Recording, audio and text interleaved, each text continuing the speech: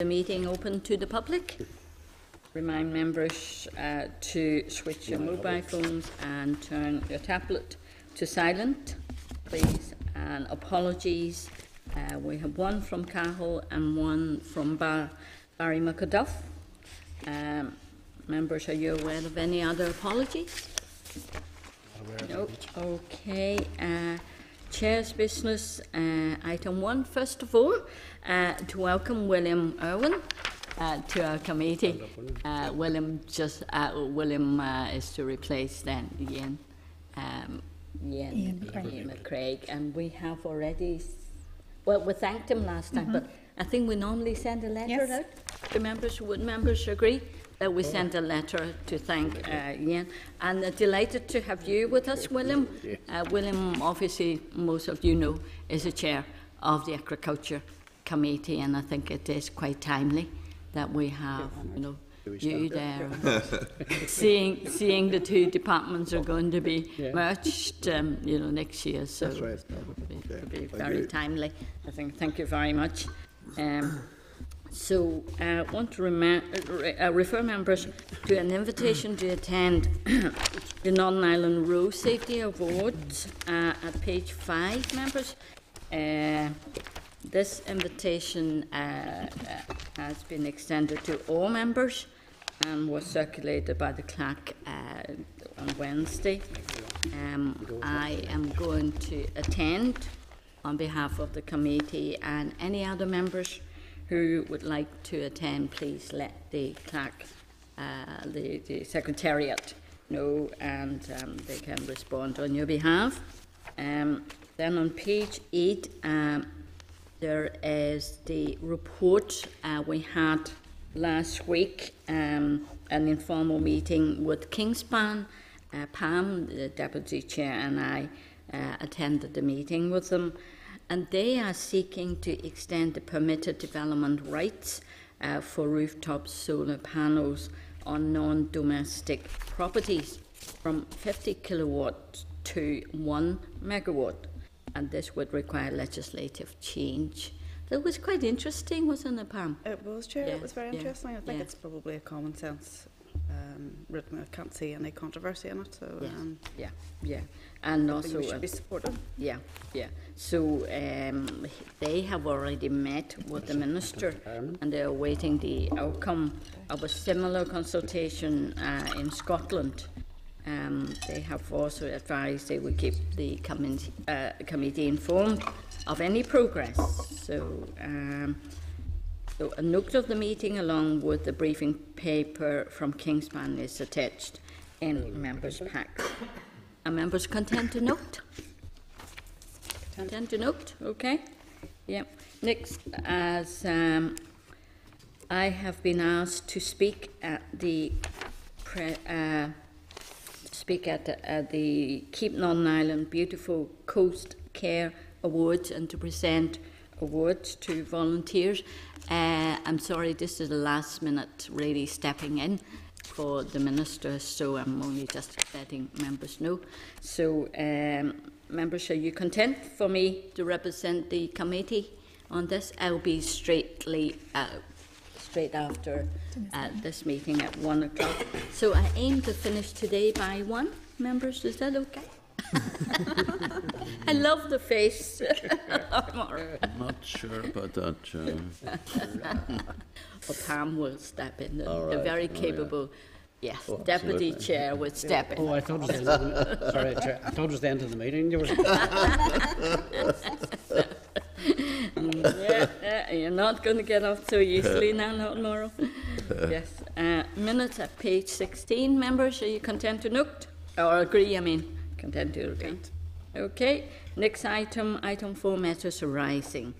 Um, members, just to remind you, before summer recess, I met with uh, Chimcote uh, to discuss the use of fire prevention panels. The committee subsequently agreed to write to Building Control to ascertain what was contained in regulations in relation to fire assistance panels and also to the Housing Executive for its policy. Two council responses are attached at pages 21 and 22 from Newry, Mourne and Down District Council and Derry City and Strabane District Council. A response from DSD on behalf of NI Housing Executive is at page 24. The councils have clarified that the policy in respect of fire prevention panels apply only uh, when new buildings are being erected and where existing buildings are being extended. In such cases, if a new liquid fuel storage tank is being installed, measures must be taken to reduce the risk of a fire in an adjacent building or on adjacent property igniting uh, uh, the, the stored fuel. This is, born, this is done by either locating the tank sufficiently far from the building or neighbouring property or by providing a firewall or screen. DSD has confirmed that its policy complies with building control regulations and there are no plans to review this. As Northern Ireland building regulations are written by DFP, the committee may wish to forward this to the Committee for Finance and Personnel and to Chimco for uh, their information. Members, do you agree that we should forward this to DFP just, just to see what their response may be? Agreed. Okay, thank you. Uh, item 4.4 on page 26, members, uh, is a response from the department setting out their policy on anaerobic digesters in a village setting. Uh, Lord Morrow, you raised this, uh, I think, a couple of weeks ago. Are you content to note the response? We have also a printout of the renewable energy section on the SPPS, and that's tabled for, for you. Um, Chair, I raised the, uh, the issue of uh, anaerobic digesters in village settings because when I asked a question of the Minister, uh, a written question I think it was, some time ago, and when I looked then at the decisions of the Planning Office, the two are in conflict. The one contradicts the other. Now, either the planners are right and the Minister's wrong, or the Minister's right and the planners are wrong. I'd like to know which. okay. Who's getting it right? What are the contradictions? Can you remind us? Well, I mean, it's a contradiction in where the uh, minister told me in writing that the uh, a village setting is not the prime place for an anaerobic digester. Now, yet the planners uh, at a recent council meeting, I think, have uh, give an approval. Now, we need to know clearly what the policy is. I'm not sure that the, the answer that we're getting, you know, is giving us the answer. Yeah. Okay. And uh, I think that uh, further clarification is needed. Okay. The, I think the SPPS only mentioned about renewable energy to say that they are, this is from memory, to say that they are um, acceptable uh, only if it is not going to have negative impact on material aspects. Um, and, and, and influencing the characters of, of the area and all that. Yeah. So I suppose, you know, there, there isn't a blanket of uh, acceptance that it, renewable energy will happen, but that, you know, it is, it is only um, qualified by, by certain conditions. So it is not a simple, straightforward, I think, black and white, yes or no. The, No, w- what we're reading here in front of us is, it tells us that the uh, renewable energy development, including anaerobic digesters, is currently set out in the Department's Planning Policy Statement 18. Well, when you look at that particular statement, and you then find what seems to be, to a layman anyway, a complete contradiction of that. You know, just, uh, I mean, where are we going in all of this? It's, um, if, if it, if it changes or potentially changes the character of a village or a setting and impacts on people's lives in a very direct way, then to me there is something fundamentally wrong with that plan and strategy. Okay, I can see that line there. If a proposal for an AD development is situated in a village setting, the above policy and guidance will apply. In particular, it will be important for the planning hmm. authority to fully consider whether or not there would be any unacceptable adverse impact on residential or visual amenity. So I suppose it is Yes, kind of viewed on, on, on individual cases. Yeah, but I don't think it can be that. No, mm-hmm. I think you either have a policy or you don't have a policy. And I don't think it's a, a case of, well, we'll judge everyone in the round. I mean, I understand that what, what is policy guidance for? What is a policy for? It's to set the framework for a development. Now, it also says here, proposals for AD development will be expected to be located at or as close as possible to the source of the resource needed for that particular technology. Unless in the case of a combined heat and power scheme or a biomass heating scheme, it can be demonstrated that the benefits of the scheme outweigh the need for transport. Now, mm-hmm. Chair, what I'm trying to say is this, I can well understand an anaerobic digester on a farm which is used by that individual and that farmer for his mm. his enterprise. I can understand that and, mm-hmm. and don't really have a difficulty with, with that. It's whenever it comes down to the uh, an anaerobic digester, which is meant for everybody to use, then surely, is that what we're talking about? It, it should be as close as possible to the source or resource needed for the particular technology. And, and in cases this is not happening. Would it not be much better that those type of developments are either on industrial sites, but they're not set right in the heart of a village, where the whole character and of that village is transformed, not for the better. Yeah. That's my reading of it. But then, whenever I look at it out in practice, then that's not happening. Yeah, well, it does say in that line, unacceptable, if, if there is unacceptable adverse impact on residential or visual amenity, that uh, the planners would need to look at it. Um, yeah, sorry, excuse me.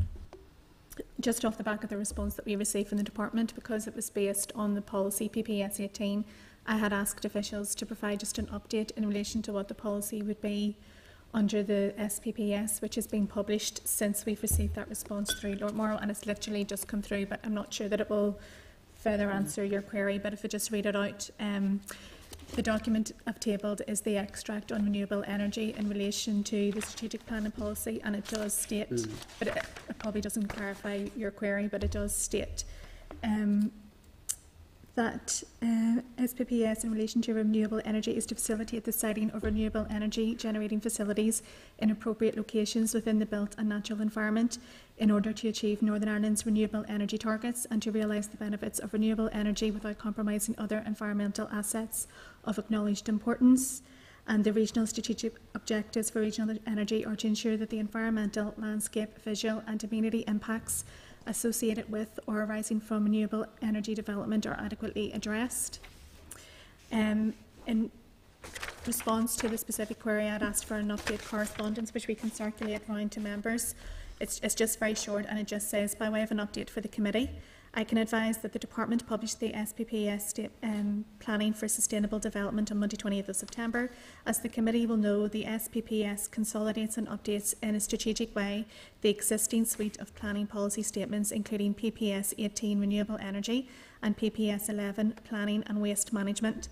The SPPS provides for transitional arrangements whereby existing PPSs, including 11 and 18, have been retained for a period to allow councils adequate time to put new local development plans in place. During this transitional period, these detailed operational policies will continue to apply alongside the SPPS in order to avoid any policy gaps and uncertainty in relation to planning proposals and decisions. Any conflict any conflict between the SPPS and any policy retained under these transitional arrangements must be resolved in favour of the provisions of the SPPS. This transitional period will operate until such times as the Council adopts a plan strategy for the whole of their area. In addition, the best practice guidance to PPS 18 will also continue to be treated as a material consideration. So I'm, I'm not sure if that addresses your specific query. Uh, no, I, I think you've got it right. I don't think it does, actually. It's uh, long on words. and- Yeah. Yes, yes.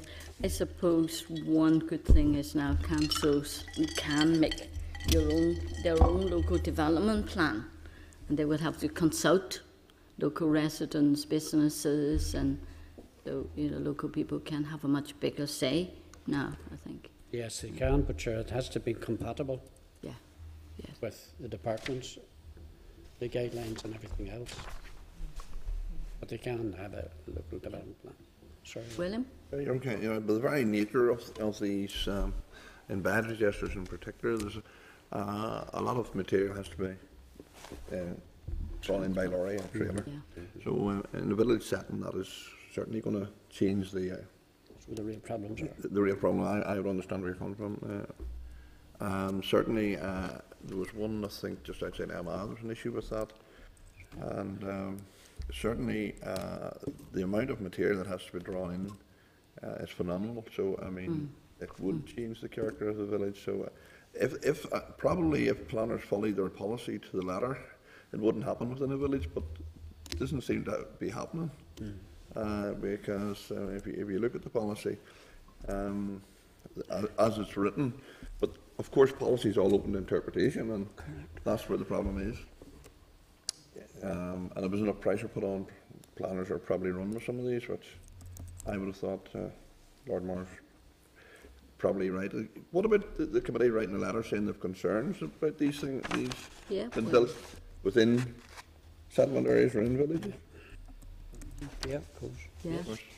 I think that'd be helpful and uh, it would um, make the department aware that we think there are anomalies and if they want to investigate them. Uh, indeed, we might want to investigate them at a stage two, uh, Chair, but um, that's for a little further down the road, I think. Yeah, or do you want to see any precedents?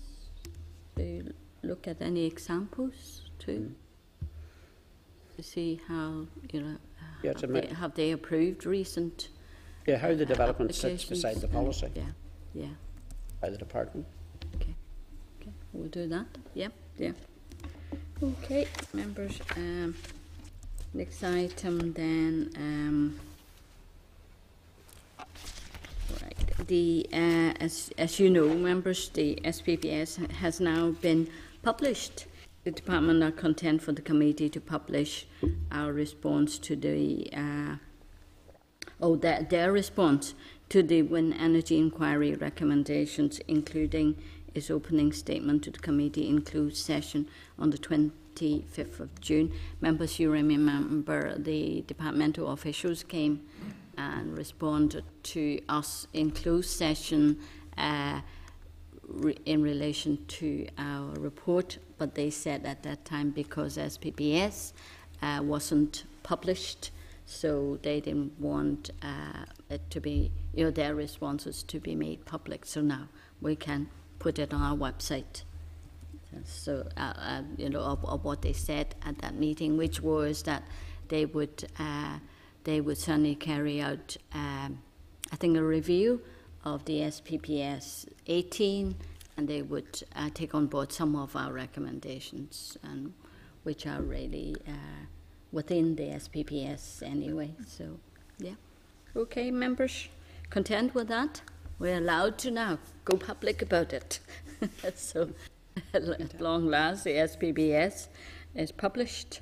So, uh, next item, members, is to refer you to tabled pack at page three, which is a further response from the department in relation to the members' queries regarding CCMS being included as a statutory community, uh, community planning partner. The draft statutory rule is also attached. Um, so, Sandra, it's uh, was your query? It was, Happy yeah, with and I. I don't Yeah. really think that the response gave us this, anything any more than what we had before. Mhm. Um, and, you know, I just think it's, it just s- seems to give an, an equal position to CCMS over any other education representative body. And I don't think it's, you know, I'm, I'm not really content with it. Okay. Uh, we have someone from the department, Nicola Craig, uh, coming to us later on to talk to us about the local government standing orders. If you want to, to question her then, we can hold off then, uh, not agreeing on the, on the SR. Um, then we'll wait until you have asked your questions and we can go back to that. Okay? Then, um, item five, um, members, um, that's the Environmental Better Regulation Bill, uh, written correspondence. Um, members, there's a paper summarising the evidence taken by the committee at page twenty-nine, and the response from the department to comments made previously by the committee in relation to the bill at page thirty-six. Um, so it- it's actually quite detailed responses It is. from the department, yeah, on various uh, points made also by uh, Daniel Greenberg uh, on the bill. And, uh, but now the clerk has also put together then the, um, the points made during the oral sessions and the stakeholder event. So thank you very much. lots of lots of different points of views there. Um, so members, are you content for us then um, to write to the department regarding the issues raised in those uh, stakeholder events and the oral evidence? events? Okay. So uh, we are going to start now our informal clause by clause next week. Okay. Uh, next item is a draft SR, that's the local, the draft local government standing orders regulation NI uh, 2015 at page 47, members. Um, at our last meeting, the committee agreed to invite officials to brief it uh, on the on this draft SR. Members, you may recall it, it is on the um, call-in uh, procedure, whether uh, we should have a solicitor to do the filtering. So, members, that's on. Uh, there's a briefing paper um, To do the work. on page 47. Is that a briefing paper? It is, it's the correspondence from officials, and then it's the, the draft statutory rule as well. Okay. Hello. Hello. Hi. Haven't seen you for a while, Julie. so welcome, welcome uh, Julie Broadway, and from the Poly Division, um, Brenda Kelly. Morning. Hello, Brenda, and uh, Nicola uh, Craig. Craig. Craig. Ray. Gray. Gray. Uh, for all from Policy Division. Uh, members, just to remind you that this is being recorded by Hansard. And um, so, Julie, over to you.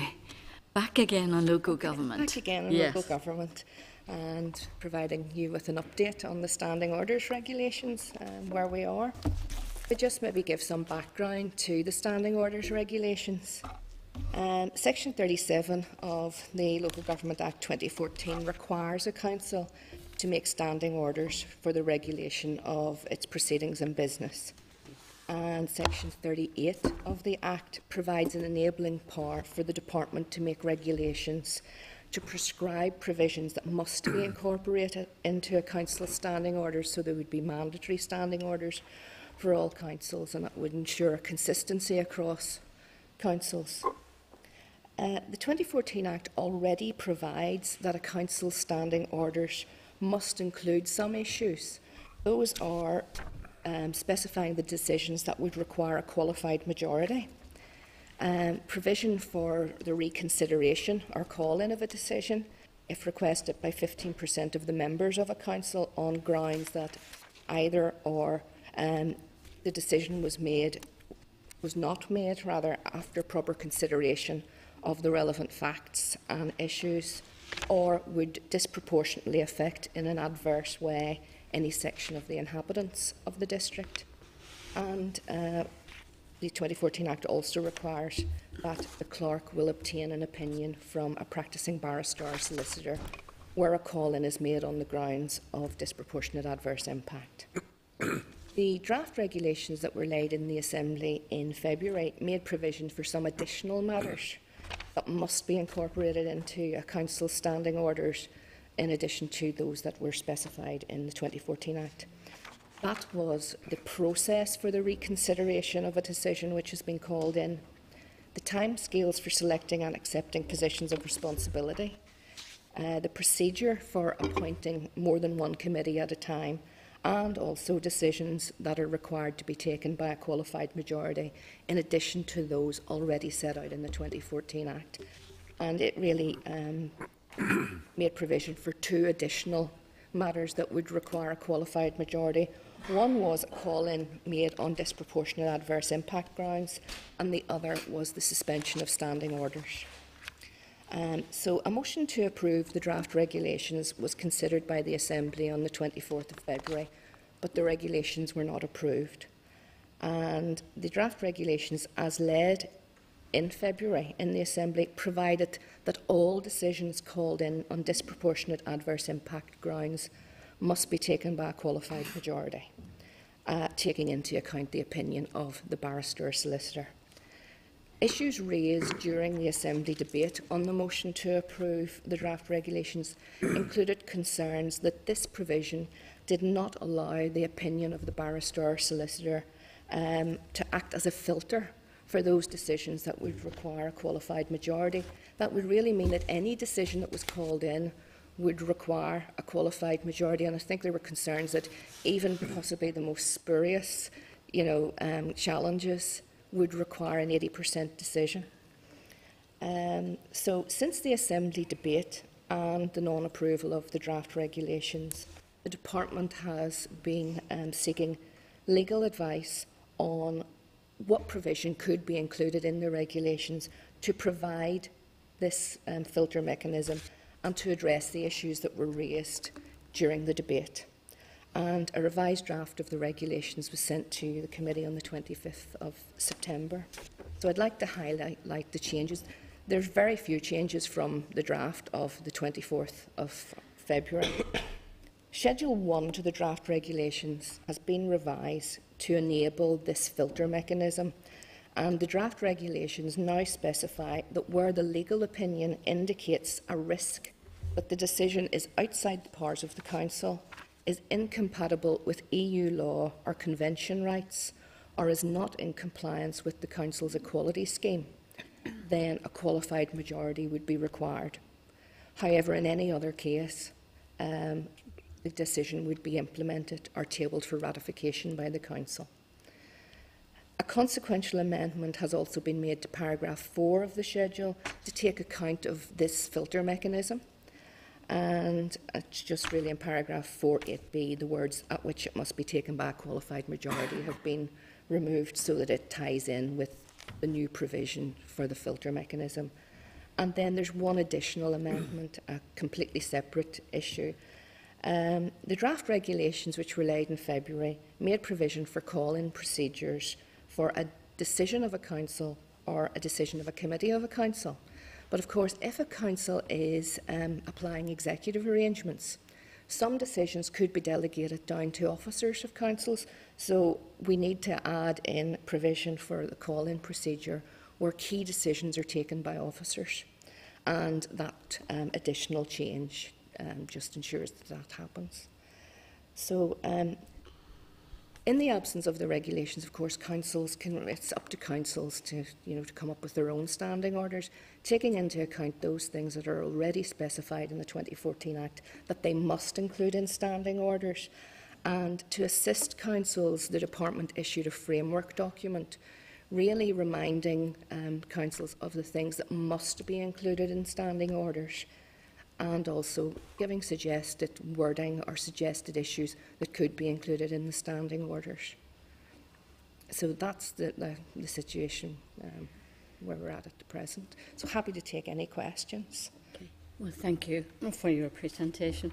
Julie, so it means then there will be that mechanism Yes. that you will consult a solicitor Yes. And acting as a filter to say on these conditions, then it will go for calling, it will go for a majority vote. Yes. So the solicitor would have the final say. No. The solicitor would just be giving an opinion on whether, if a decision, if implemented, would be at risk of not mm-hmm. complying with a council's powers laid out in legislation or, you know, be incompatible with EU or human rights legislation or incompatible with the equality scheme.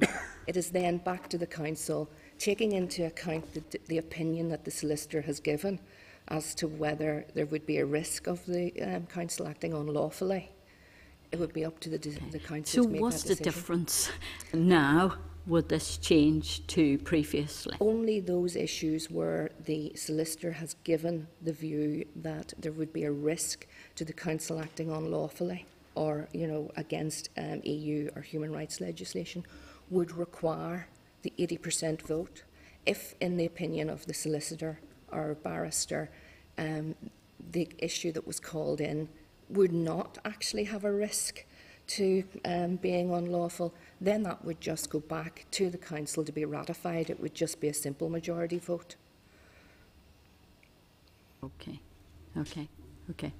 Are you, are you all clear? Am I but clear? We're not saying we're agreeing. Yeah, yeah. Okay. Uh, Pam? Pam? Yep. Oh, thank sorry. you, Chair. Thank you for your presentation. Um, obviously, uh, welcome the shift in the in the regulations from the previous draft, which now aims to ensure that only those um, call-ins that are based on valid and legitimate grounds will be subject to the qualified majority vote, uh, rather than like, which obviously runs the risk of vexatious call-ins blocking legitimate decisions. Um, however, we do have um, a concern over one of the issues, and in schedule um, in the schedule part one voting one A, the test for legitimacy is now uh, quote compliance with the council's equality scheme Yes. quote, um, and this is replacing the previous test used by councils in the transition period, which was, and I quote again, a decision that would disproportionately affect adversely any section of inhabitants, quotes. Um, and obviously the, the previous test mirrored exactly what was in the Act, Yes. um, and it was used by councils and was clearly legally compliant. Um, what's the reason for the change, and why is something that was exactly mirrored in pri- primary legislation being changed um, in the regulations?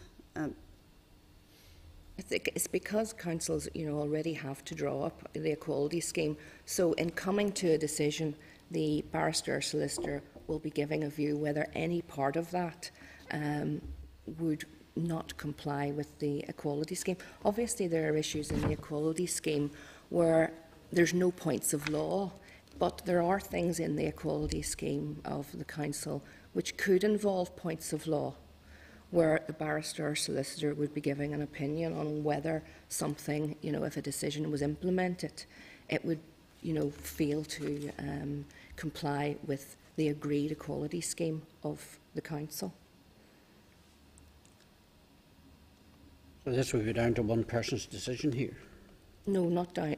It's not down to One one person's person. opinion, rather. It's, yes, the, So that would be the opinion of one learned person, but ne- not necessarily the opinion of another learned person. that would be the case. Right. yes. So is there a, a weakness there?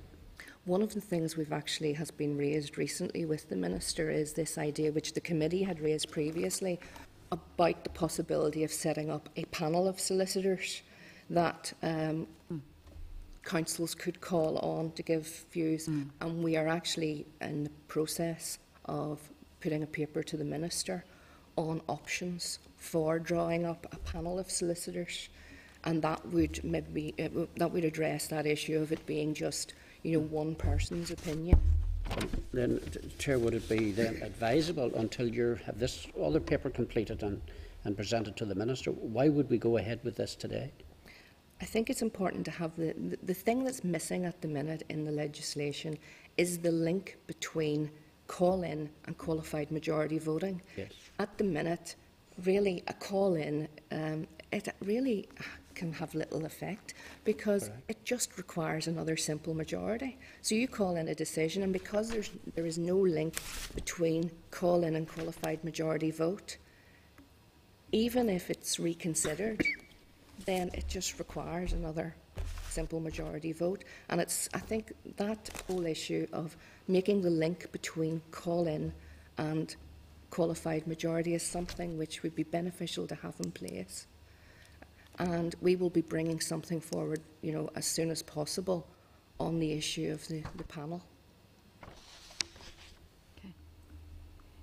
So then, the conclusion of that, of what you've said, is that this matter should not be dealt with at this stage, because the problem with it all is this. Whatever council makes a decision, and is perceived to be a decision that is highly controversial, maybe the whole community is opposed to whatever that's is. And yet, and it's going to impact on them in a very direct way.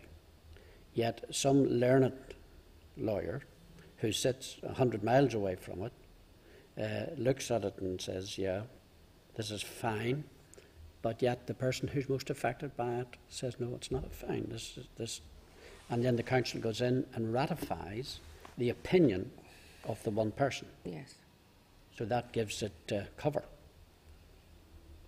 Doesn't necessarily mean it's the right decision, but it gives it cover nevertheless. So I think we, certainly as a party, would not be happy with that.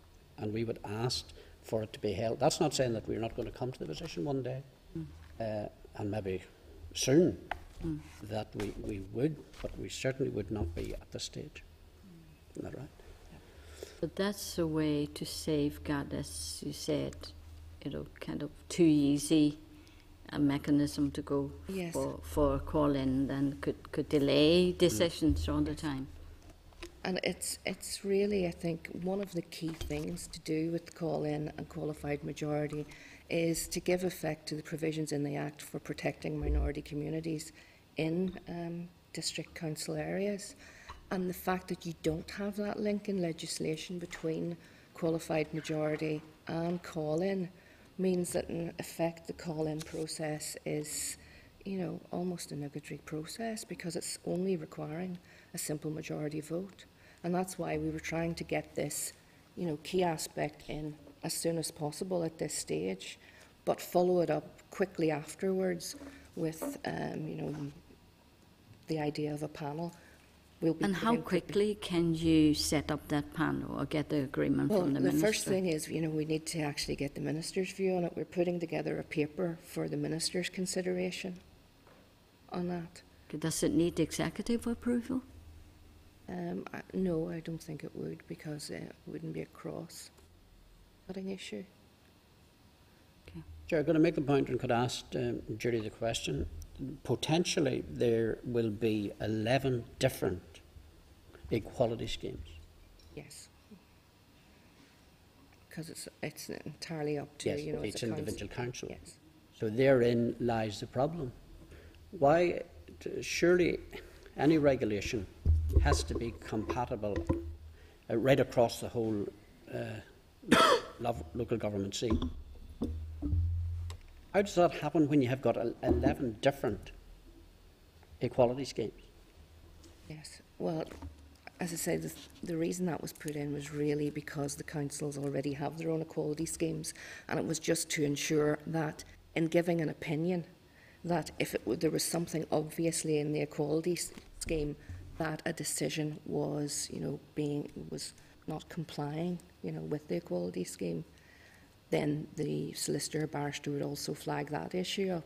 That was the reason it was put in. But the main thrust here is the, the barrister or solicitor actually assessing whether um, and giving advice on whether there is a risk that a decision, if taken, would be unlawful or incompatible with EC and human rights um, legislation.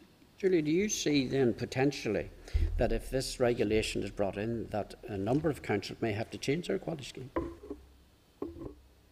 Which, which has to be c- countersink here?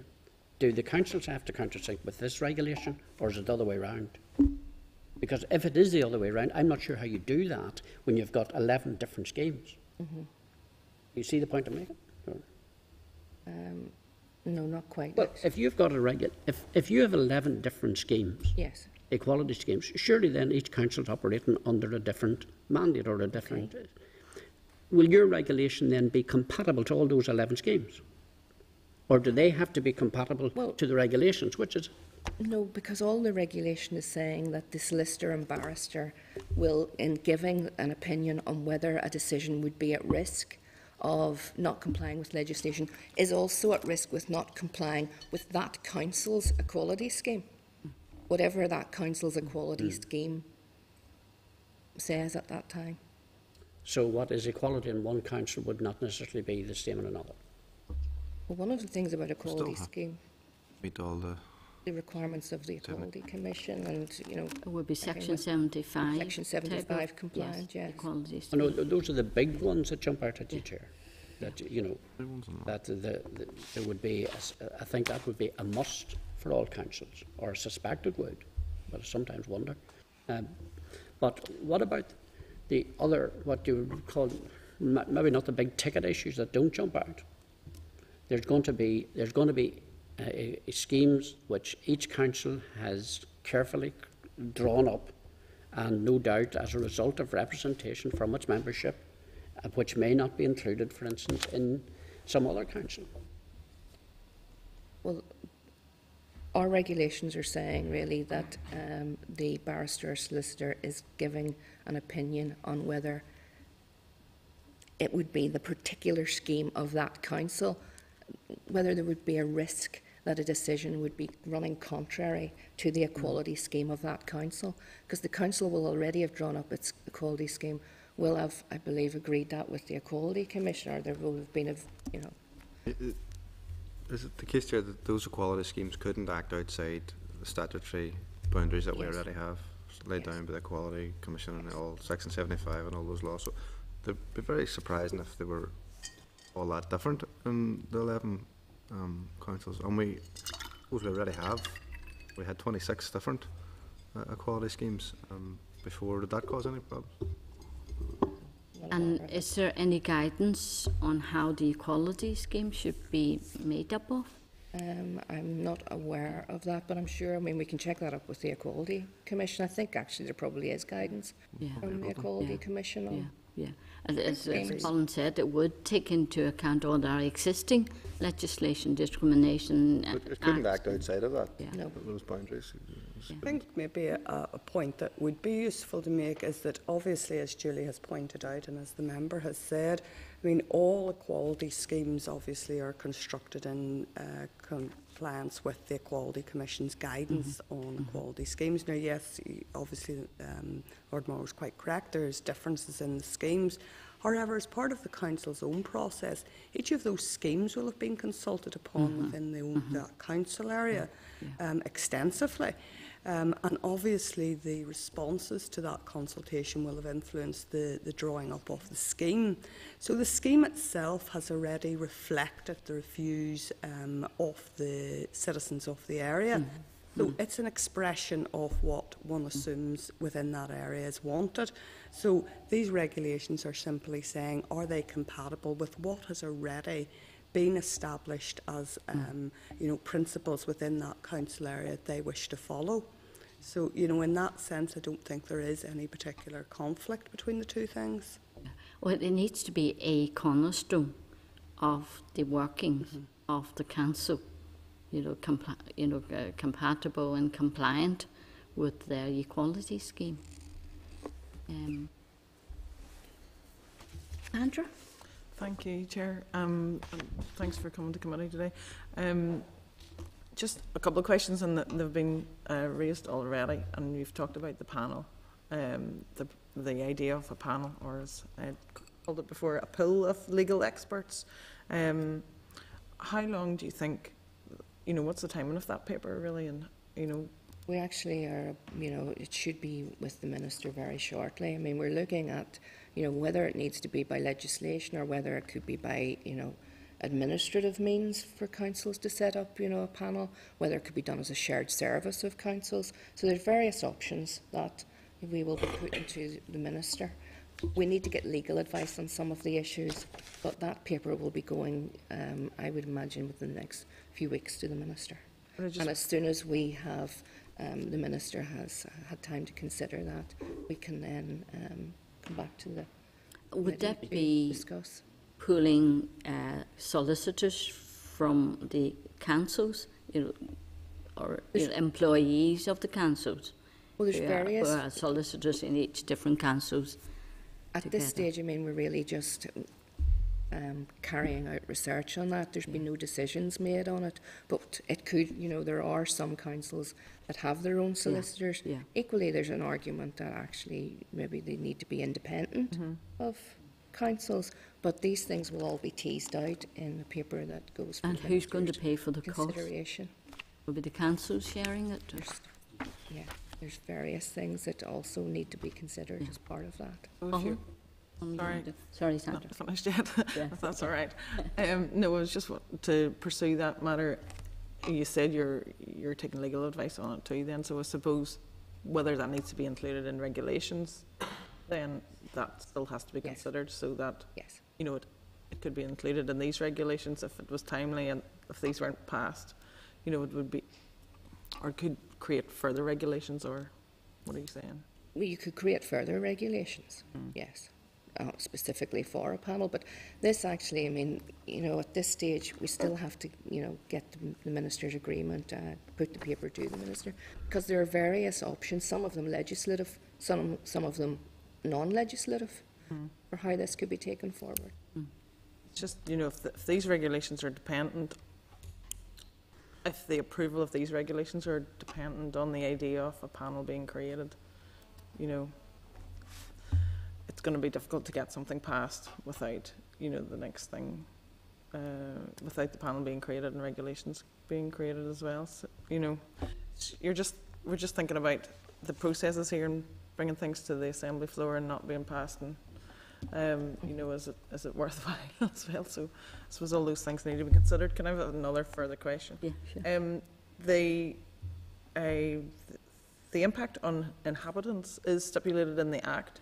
Is that, is that still standing? Yes, that's that's what the the definition in the the um, the act. So anything in the regulations. So those be three mirroring further that. stipulations is in addition to that. Um, is there, can you provide a definition of that?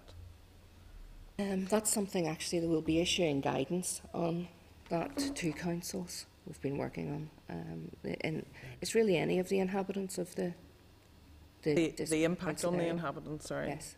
So how do you define how it's going to impact on? Well, that's that's one of the things that you know the council will be looking at. You know, one of the things if a decision's called in, that the group of councillors who call it in have to actually specify is how, in their opinion, the decision would have an adverse impact on a particular section of the inhabitants. They, as part of the call-in process, um, those people that call in actually have to specify what uh, section of the inhabitants of the district would be affected and what would be the effect. So therefore, the next stage in the process would be that the legal opinion would be obtained to see whether, if the decision, if implemented, would actually be unlawful or would have an effect. And then, um, once that's all, you know, that process has gone through, the matter goes back to the council to take the decision based on, you know, the opinion that, based on what the reasons given for the call-in and the section of the community that the people who have called it in are saying would have an adverse impact, and the decision of the solicitor so that the council can then reconsider the decision. Thank you. Thanks, Chair. Okay. Colin? Thanks, Chair. Thank you for your presentation. Sorry I missed the start of it. The, um, the, the issue around the, the panel, and I know we talked about it before, I think, around the time of the legislation. Um, and I know you don't have a ministerial decision yet, but uh, are, are you envisaging one panel for the whole of uh, Northern Ireland? Are you envisaging, you know, panels that are regional or, you know, councils pulling together? Uh, you know, what kind of impact has this got on the on the you know, city solicitors, for example, in Derry or Belfast. Um, and then there's Lord Morrow's point about somebody sitting 100 miles away making a decision around something that's very maybe very local and specific to a local area. Um, have you given much consideration to those all of those various options because, as I say, there's there's various pros and cons with um, options. As I say, some would be legislative options, some would be non-legislative. There's an argument that you know some councils already have solicitors who can deal with this. Equally, another argument um, can be made: well, actually, should a decision not be taken independent of the council, and should the panel not be independent?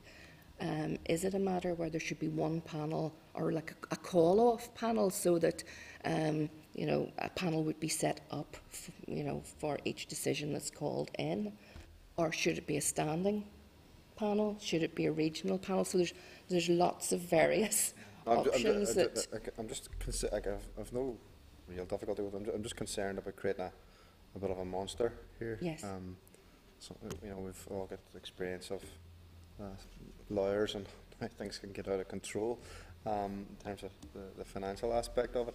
Um, so I just, I, I just wonder, are, are we setting up a permanent panel that's going to be sitting there, kind of hoping for uh, uh, call-ins and uh, and just takes on a life of its own? But I- I'm sure you'll consider. So that, well, we'll be putting um, the pros and cons of all of these various options, including the cost of, you know, because one of the things that you have to look at is it needs to be cost effective. Who's, as you mentioned earlier, who will be paying for this panel? Mm. And it needs to be cost effective. Especially if some councils are already paying fairly high salaries for uh, Mm. assistant solicitors. Yes. That's right. and and the, the, just, I know that the independence issue, but those people are supposed to be given advice based on the law, not on whether or not they work for a council or not. Yeah. They would have to do that every day. Uh, You know. And that very much is the, I mean, as I say, we got legal advice on drawing up the provision for the filter. And one of the, you know, key things that was stressed was the solicitor and barrister can only give opinions on points of law. Mm-hmm, mm-hmm, mm-hmm. Okay. So if they look at the negative impact of the minority community in that council district, it would only be on the point of law. Okay. Okay. So, uh, members, I mean, we have to, oh, Gary, sorry, Gary, latecomer. Yeah, I was just listening, Chair. Uh, yeah, I- I, suppose I would completely agree with my colleagues in the, in the point of um, Schedule uh, Part 1. It, it is concerning, you know, in my own recent uh, experience in, in local government, and particularly in uh, Londonderry, we've seen uh, the challenges already around this uh, particular process. Um, we've, we've had a position where uh, the Equality Commission have already given an opinion on the decision, and the Council, of course, has went against that, namely the, the name change issue uh, within the city, uh, which causes some problems and directly affects a serious, uh, large section of the uh, minority community in that particular area. So it does cause us some concern. I know in that case they've went out for independent legal advice, but again, it concerns me that um, you know, the test for legitimacy is now compliance with the Council's equality scheme, uh, because even though there was an equality scheme uh, in Londonderry at the time, uh, the Council have recently taken a decision to go against that advice uh, and you know put the decision through. So it does cause me uh, some concern, and certainly I think it's something that we need to uh, not rush into and, and certainly take time uh, to reflect on. Yeah. Okay. Okay. William? Yeah, thank you, uh, Mr. uh, Madam Chair. Um, yeah, in, in Newry Council, like, we had a decision taken some number of years ago to call a play park after convicted tourists, and it was an issue that, uh, I suppose had got legal advice from somewhere, and that legal advice seems strange. I mean, I went to the Equality Commission and had meetings with the Equality Commission, and my first meeting with the Equality Commission was that they were taking this up themselves because this was a way off the wall. That was decision. And still, uh, many years later, that hasn't changed. So I think it's important we get this right. Okay. I, I get the feeling we want to wait until we hear more before we uh, agree on the SR.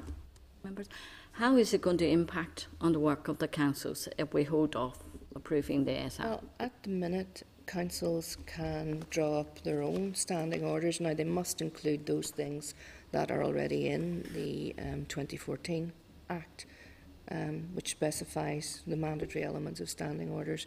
But other than that, um, councils, uh, you know, in the absence of the regulations, the councils can draw up their own um, standing orders. So there's no consistency on some key elements of the new governance arrangements across the councils. Right, right.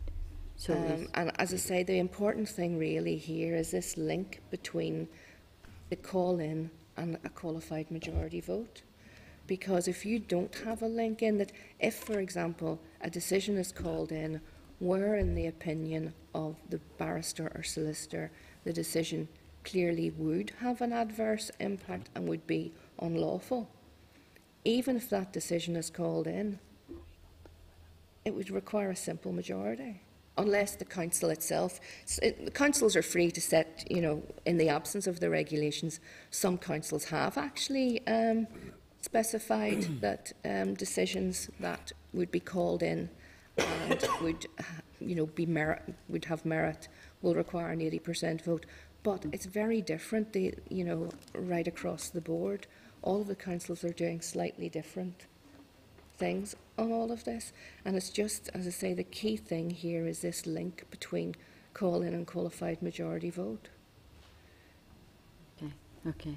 Uh, This really ensure consistency or across the 11 councils.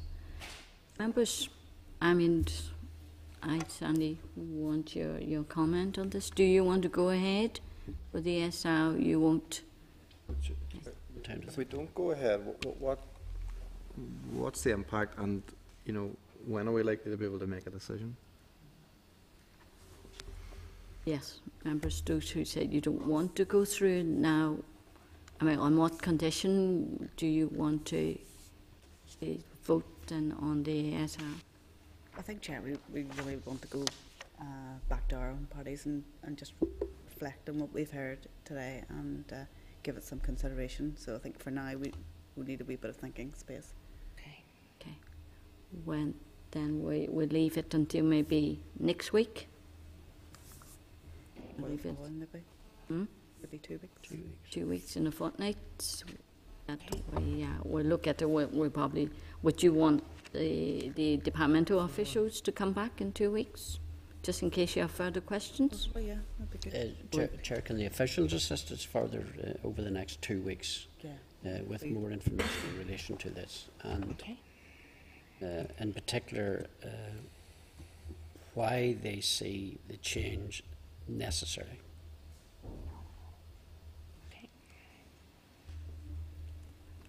And maybe, Would be useful to- maybe firmer proposal on how that panel of solicitors should be administered? We'll see if we can get, we'll, we'll have more information More on information that on, on, yes, how you constitute that panel, if there is going to be a panel. Yes. Okay. And Chair, just could we ask to, in relation to, Julie, I think you, in answer to someone else, I don't know who it was asked it, but uh, about impacting on people, on the community. Uh, and you said, I think you said that that would be in the guidelines. Yes. Could you flex that out for us too? Okay. Yes.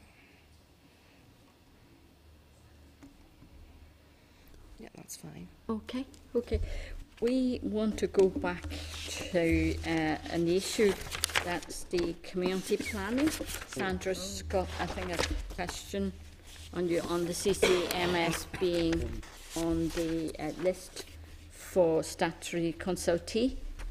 Uh, so, Sandra, you Yeah, want to, to don't go have the paper right in Yeah. front of me, but um, yeah, we, we'd requested a response because uh, CCMS had been included in the in the list of the, the community partner.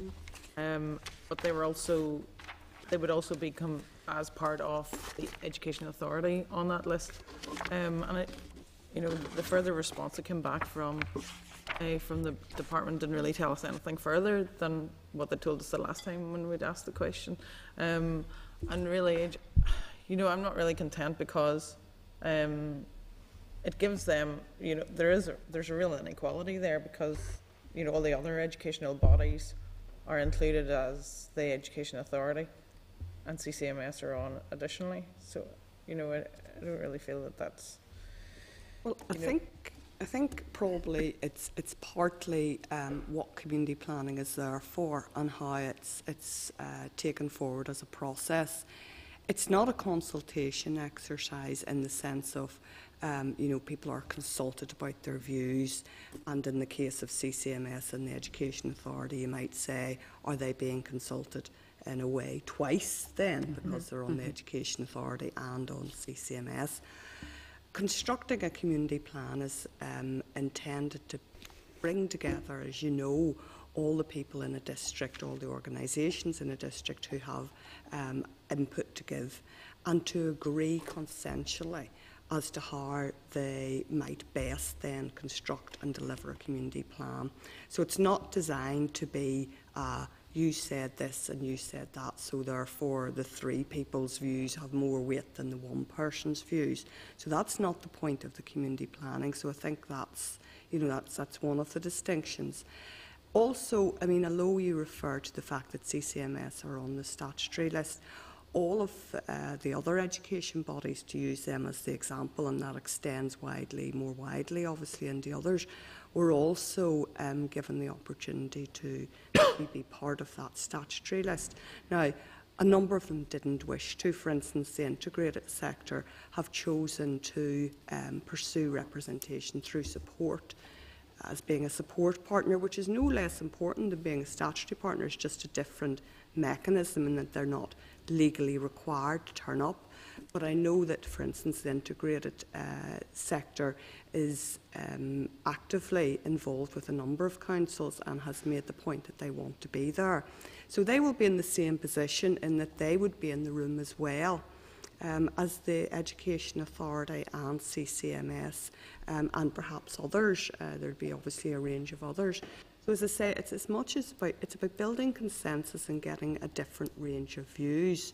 Now, if you're saying, for instance, that um, in a wider sense, would there perhaps be uh, a situation that could arise where uh, the Education Authority and CCMS might have slightly different views on a matter, or the Education Authority and the integrated sector might have slightly different views on the matter. Yes, that could certainly happen. But the resolution of maybe a view on a particular uh, education issue in an area is something which is done within the Education Authority itself, not within the context of community planning or the construction of community planning.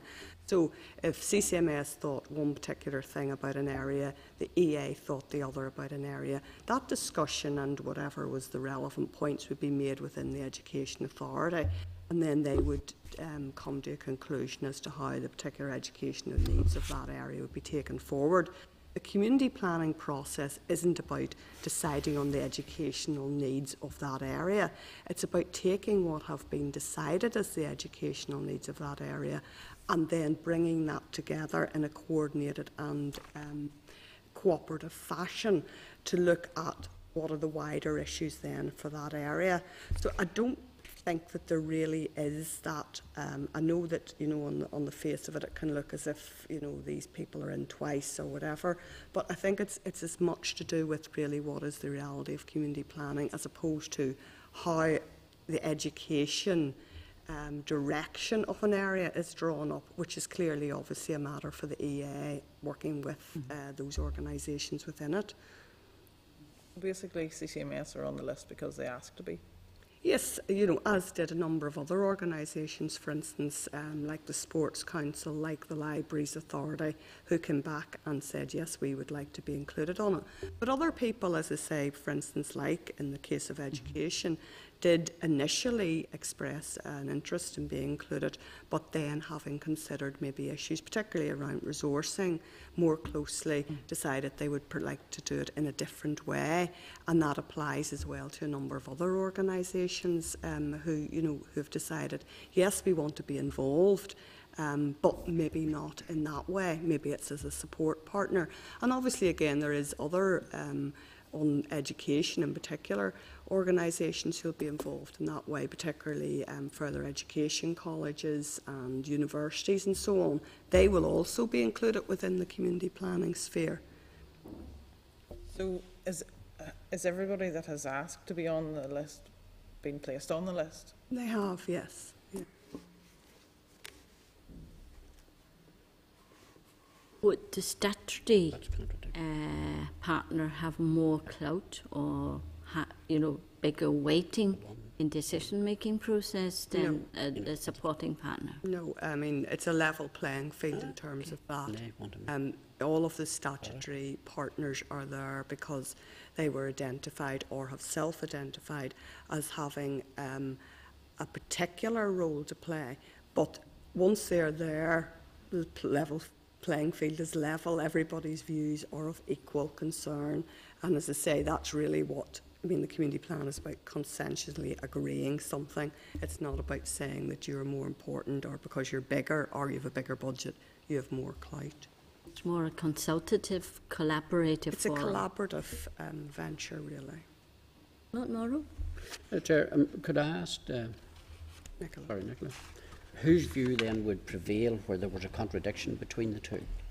Well, as I say, I do- that's, um, I think that there's, within the community planning sphere, I don't think that is really relevant in the sense that um, what they're trying to do is agree within that area a plan for the community. The Education Authority obviously would be drawing up those um, education uh, type priorities for their area. And the discussion on what the education priorities for the area would be would take place within the EA itself. Um, of which CCMS is a member, obviously, along with a range of other bodies. So they would have a view as to what would be the educational direction for that area. It would be those plans which had been agreed, which would then be form part of how you might cooperate and coordinate that across the, the community plan. So it wouldn't be that you would then have a alternative education plan as such, which has been constructed outside the remit of the education authority or the education groups themselves. That wouldn't be what a community plan would be looking at. It would be drawing together plans and looking at how the different synergies then between education and health and all those other things can be brought together to create a more coherent community plan for the area. Would it not be much more uh, coherent if, in fact, you have the Education Authority speaking for education, having consulted with its different strands with, within education and saying, look, this is the this is the view here, this, rather than, for instance, the Education Authority perhaps saying, well, we take position A, and another strand within and saying, well, no, actually, we'd rather have B, position B, and another one saying, well, actually, we would prefer position C. How, how do you come to the conclusion on, on?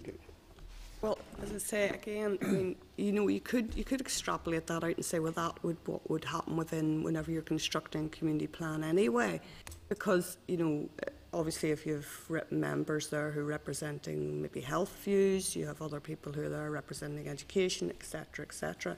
Each of those groupings might have a slightly different view on how the community plan for that area might be best taken forward. And it's about then coming to an agreed consensual position. So the fact that people in the room will have slightly different views is inevitable, obviously, but it's how that is worked through into agreeing a more general plan for the area. Exactly. And how would you see that working then, when you have all these different views? Well, that's about how consensus is built within the community planning process, and there's no Sorry, should that consensus not be built behind the Department of Education Authority, who then will articulate that in their submission and their plan? Well, yes, and I think you're right in the sense, as I say, that I think that there will be obviously a discussion would go on within the EA in this case um, to reach whatever is the agreed or um, established view in terms of education in that area. And that would be the education plan for that area, which would then obviously be one of the key determinants of drawing up the, the um, community plan. However, you know, for instance, there's three uh, health um, organisations on the statutory planning partners. Again, within that, one would expect that there will be an overall agreed health approach to that area. But that doesn't negate the fact that those three bodies will be at the community planning table and will then agree as to how um, health uh, issues or health in its wider sense might be dealt with within the area. Because partly, I mean, that could be, for instance, um, in the health side, you know, the three health bodies will be there. If an issue comes up, maybe around, um, you know, uh, something about making people more active or dealing with, um, you know, uh, difficulties in, in preventive health things. The health authority, uh, the, the PHA, will have a particular view on that, which will be in, incompatible with the overall health views, but which they would be in the lead on. So likewise, in the education field, it may well be, for instance, that um, in terms of maybe making school uh, available for out of school activities to help in sports, whatever, that CCMS there as the sort of um, particular representatives of a sector would be able to give particular assistance and help in that area. So it's to reflect those sorts of different views, not to necessarily say that as a policy that these particular organisations will have different policy um, views and that that will then uh, not be somehow able to be reflected within the community plan. I think the EA itself will establish the, the education direction for the area within the EA.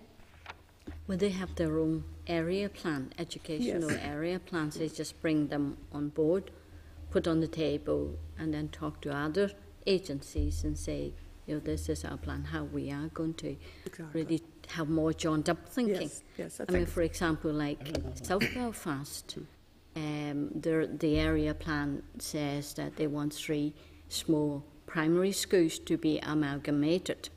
So they don't know where the new school is going to be. So that will be community planning to say, well, is that a site by the health board somewhere to give them it, and or housing executive to have a site to provide for that school? yes. I think that would be something that would be beneficial. And of course, you know, it would be widely consulted in communities as Yeah. well. Yeah. Okay, Lord Morrow? Yes, thank you. Yeah. Colin? Not Chair, just, uh, I don't think it's anything worth getting excited about. I think these, community planning's supposed to be really about uh, consensus building. It's not adversarial. We did it in Derry, um, never mind how much it was actually implemented, that's another story, but with the one plan where uh, it's kind of torturous, but people all in the one room trying to, trying to come up with an overarching vision for, for a city or a, or a community. It's about getting people out of their silos and trying to work together where they can people in education aren't telling people in health how to do their job, and likewise, people in health aren't telling people in education how to do that. They've all got their own individual um, uh, parts to play, but you know, I think it can only be positive that people will be working together. Um, and besides all that, everybody was invited, and only the CCMS decided to take up the opportunity. So I don't see what the problem is. Andrew, you happy with the responses? Okay? Yeah. Right. Uh, then, maybe then we can move on then. Well, thank you very, sorry, excuse me. Thank you very much. We'll see you back in a fortnight. Thank you. Okay, thank you. Uh, then, so we can then move back to that then. The, uh, here we go. Uh, back to. Yeah, yeah, yeah, yeah.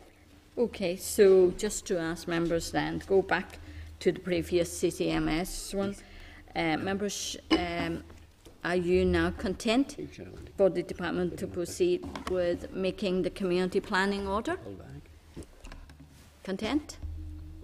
No, Chair, I don't want to reserve my position. I'm, I would not be content. I would not be content.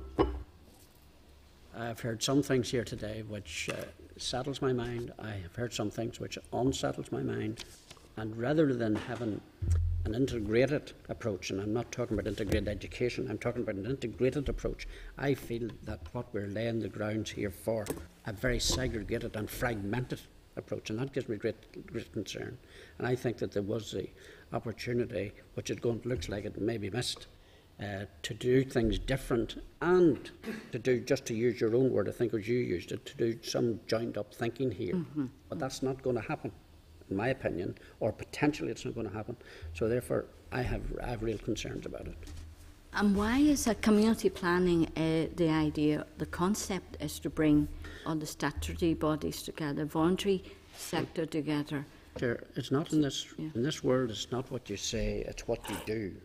And and and community planning. The concept of community planning is fine, and I don't have a problem with it at all. Absolutely not. But I do have a real problem where you have got uh, strands within a particular discipline, and they're saying, no, but actually we want this or we want that. That's all fine, and there's a place to do that.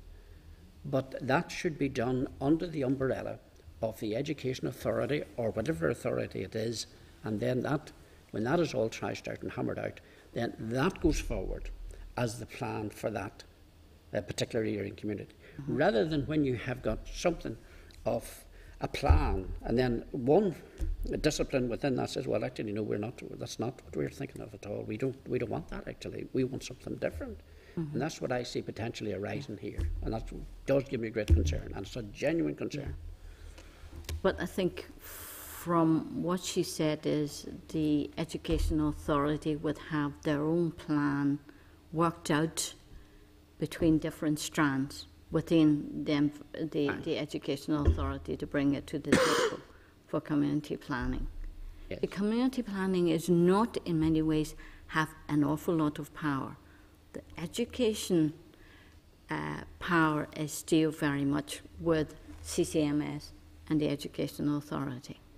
So, I mean, it is really a forum to bring people together, to have more joined up thinking, more strategic thinking in terms of, for example, where the hospitals should be, where the library should be, and all that, rather than what each department should do. I mean, community planning can tell the health trust what to do. Mm. Well, Chair, I think that that's a, that's a fair example that you draw, but let, let's take that to its logical conclusions. The, the new hospital in, in Fermanagh, there is not consensus to this very day that that hospital is in the right place. Now, it's there and it's going mm-hmm. to be there. Yeah. That's accepted. Yeah, yeah. But there's not the consensus that that was the best and proper place for it to be. Mm-hmm. Many have come up with different and very, very convincing arguments Mm-hmm. that it should be more centralised into the uh, community rather than sitting away on, mm-hmm. on the periphery. Now, mm-hmm. it is where it could have served the West much more or better than where it is. Now, I may not hold to that view, mm. but that view is articulated out there. Sure. So therefore, you, you know, you come to, and I think you gave an example of in relation to schools in South Yeah, Belfast. three schools, no site agreed No at the moment. right. Yeah. Well, let's, let's say, supposing it was site A or location A Mm-hmm. was decided. Would there be consensus around that, do you think? See, my I think- fear, my fear is that, you know, talk about the site of a hospital, for example.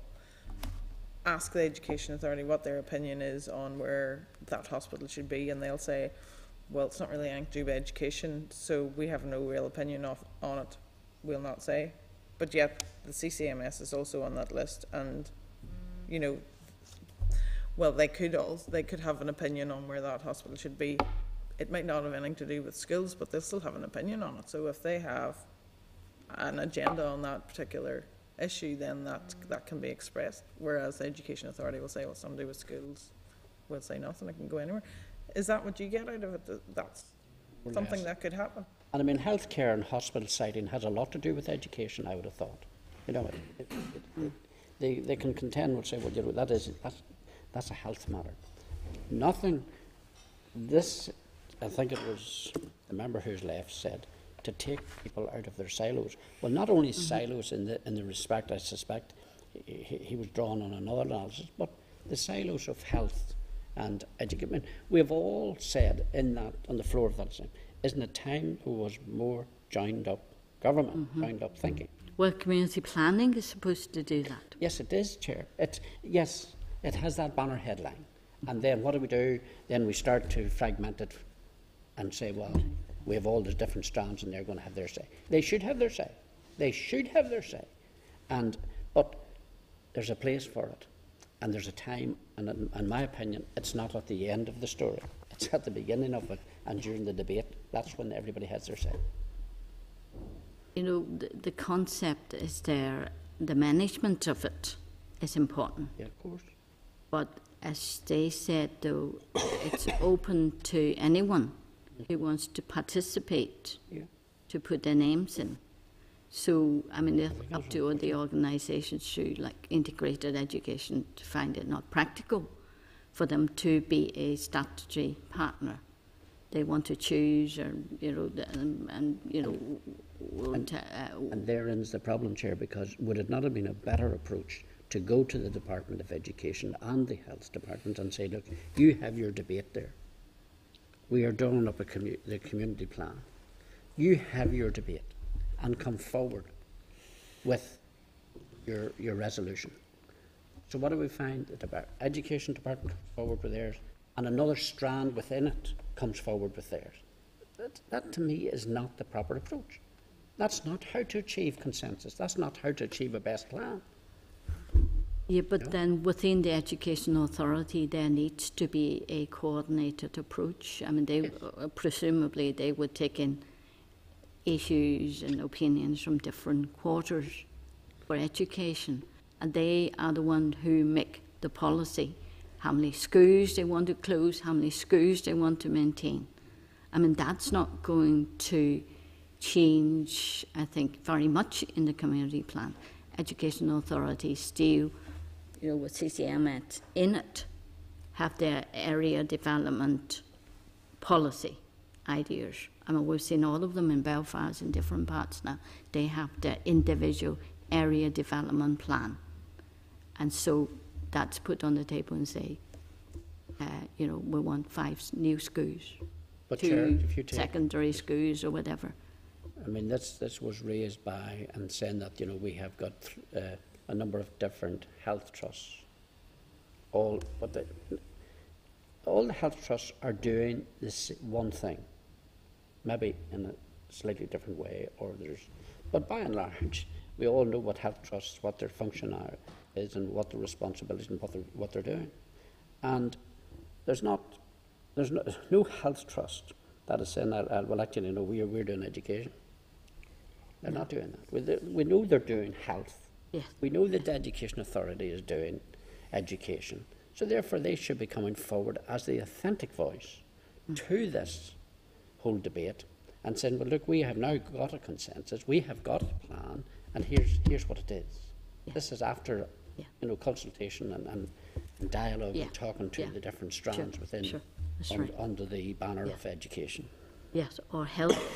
but then the whole idea of is to bring everybody together, to have a coordinated plan of for that area Yeah.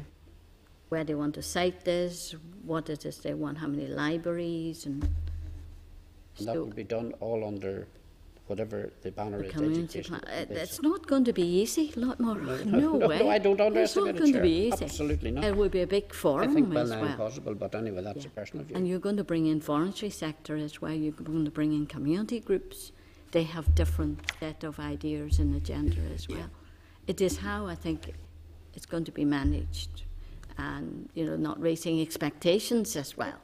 You know, this is not the be all and end all of of planning for uh, public services and community services No, but as it'd be a tragedy too if you go through all the exercise and the emotions and everything else, and then it's another one of these that sits and gathers the dust on the. You know, there's plenty of those sitting about, isn't there? How would members want to go forward with this, the local government uh, standing order? We need to, Community planning. uh, sorry, the community planning one, yeah. So um, that's the, they are waiting for us to approve the SR. Sorry, I'm, ri- I'm wrong. Yes, The this is SR. at SL one, this is at the policy proposal so- stage. Um, Sorry, Yeah. SL one stage. Yes, Sorry, where is that now? Page? it's the next page. Oh, next page, sorry. So page seven. Page It's just the seven. bit red. Oh, yes, yeah, yeah, yeah. It's just that's whether, you know- Sorry, you have, we, we haven't got the We have- details on that. We've looked at it previously, so it is the SR, the Community Planning Order. They haven't actually laid the statutory rule yet. This is just the SL1, the policy SL, proposal okay. stage. And what normally happens is at SL1, the committee decides if it's content for the department to proceed with the statutory rule. So that's the stage we're at with this. And Chair, we're- we'd ask them to They would- consider taking CCMS off the list. as it is, we're not content. I'm not sure if we have the power to do that. Well, we can say, Chair, that we're not content to, uh, for the proceeding of, uh, Shall we, rather than to sound like we're specifically against C- CCMS, I think we have to be very careful. Maybe we ask for them to show us the list to see who are the other organisations. Would that be fair? I really don't want to sound like we're ticking out specifically, no, you know, I think it's, CCMS as, no, I- as Chair, I don't think it's specifically aimed at It's only because it's Attacking CCMS. It's- duplication, it's really. It's not, duplication. it's not, Yeah. it's not, a- representation. it's not a Yeah. personal vendetta against Oh, I know, CCMS, I know. If we have a look, ask them to see what's on that statutory uh, community partners. Have we? Then even Oh, okay, we have it there. Chair, Members, but but we have- know that the other education bodies are not duplicated. This is the, It's just to the create only one parity, that is duplicated. just Yeah. to create parity because, between all the educational sector are representative bodies. Okay, It's really it all. maybe Kira can read that out, who Yeah, are this community? Okay, um, it's in ta- pa- page ten of your table packs. It's just the, the schedule if you are the community planning partners. There's a health and social care trust, um, Invest NI, Northern Ireland Tourist Board, um, Chief Constable of PSNI, CCMS, the Education Authority, the Northern Ireland Fire and Rescue Service Board, Housing Executive, the Northern Ireland Library Authority, Regional Agency for Public Health and Social Wellbeing, the Regional Health and Social Care Board, and the Sports Council for Northern Ireland. Okay, okay. And I don't think we can do anything more because this is in primary legislation, isn't it? Mm-hmm. So this The is the statute. regulation. That's a- Yes, so the regulation is to set who the actual statutory partners are. Primary legislation would, would have been to they want to be. make provision for statutory For partners, statutory but now partners. we're agreeing which statutory partners Partners. should be, Okay. Should be DSL, classified. DSL is to decide who the statutory who the partners are. statutory partners should be. Chair, then would all the, would, would, for instance, would all the councils, the eleven councils then, all be individually there? Or would local government, uh, would it be just under one banner of local government? Uh, They're not, Yeah, to- the district no, councils there's a- aren't. I mean, they must be because they are the one bringing all the people together. So, you know, those are the partners with the local council in determining the community plan.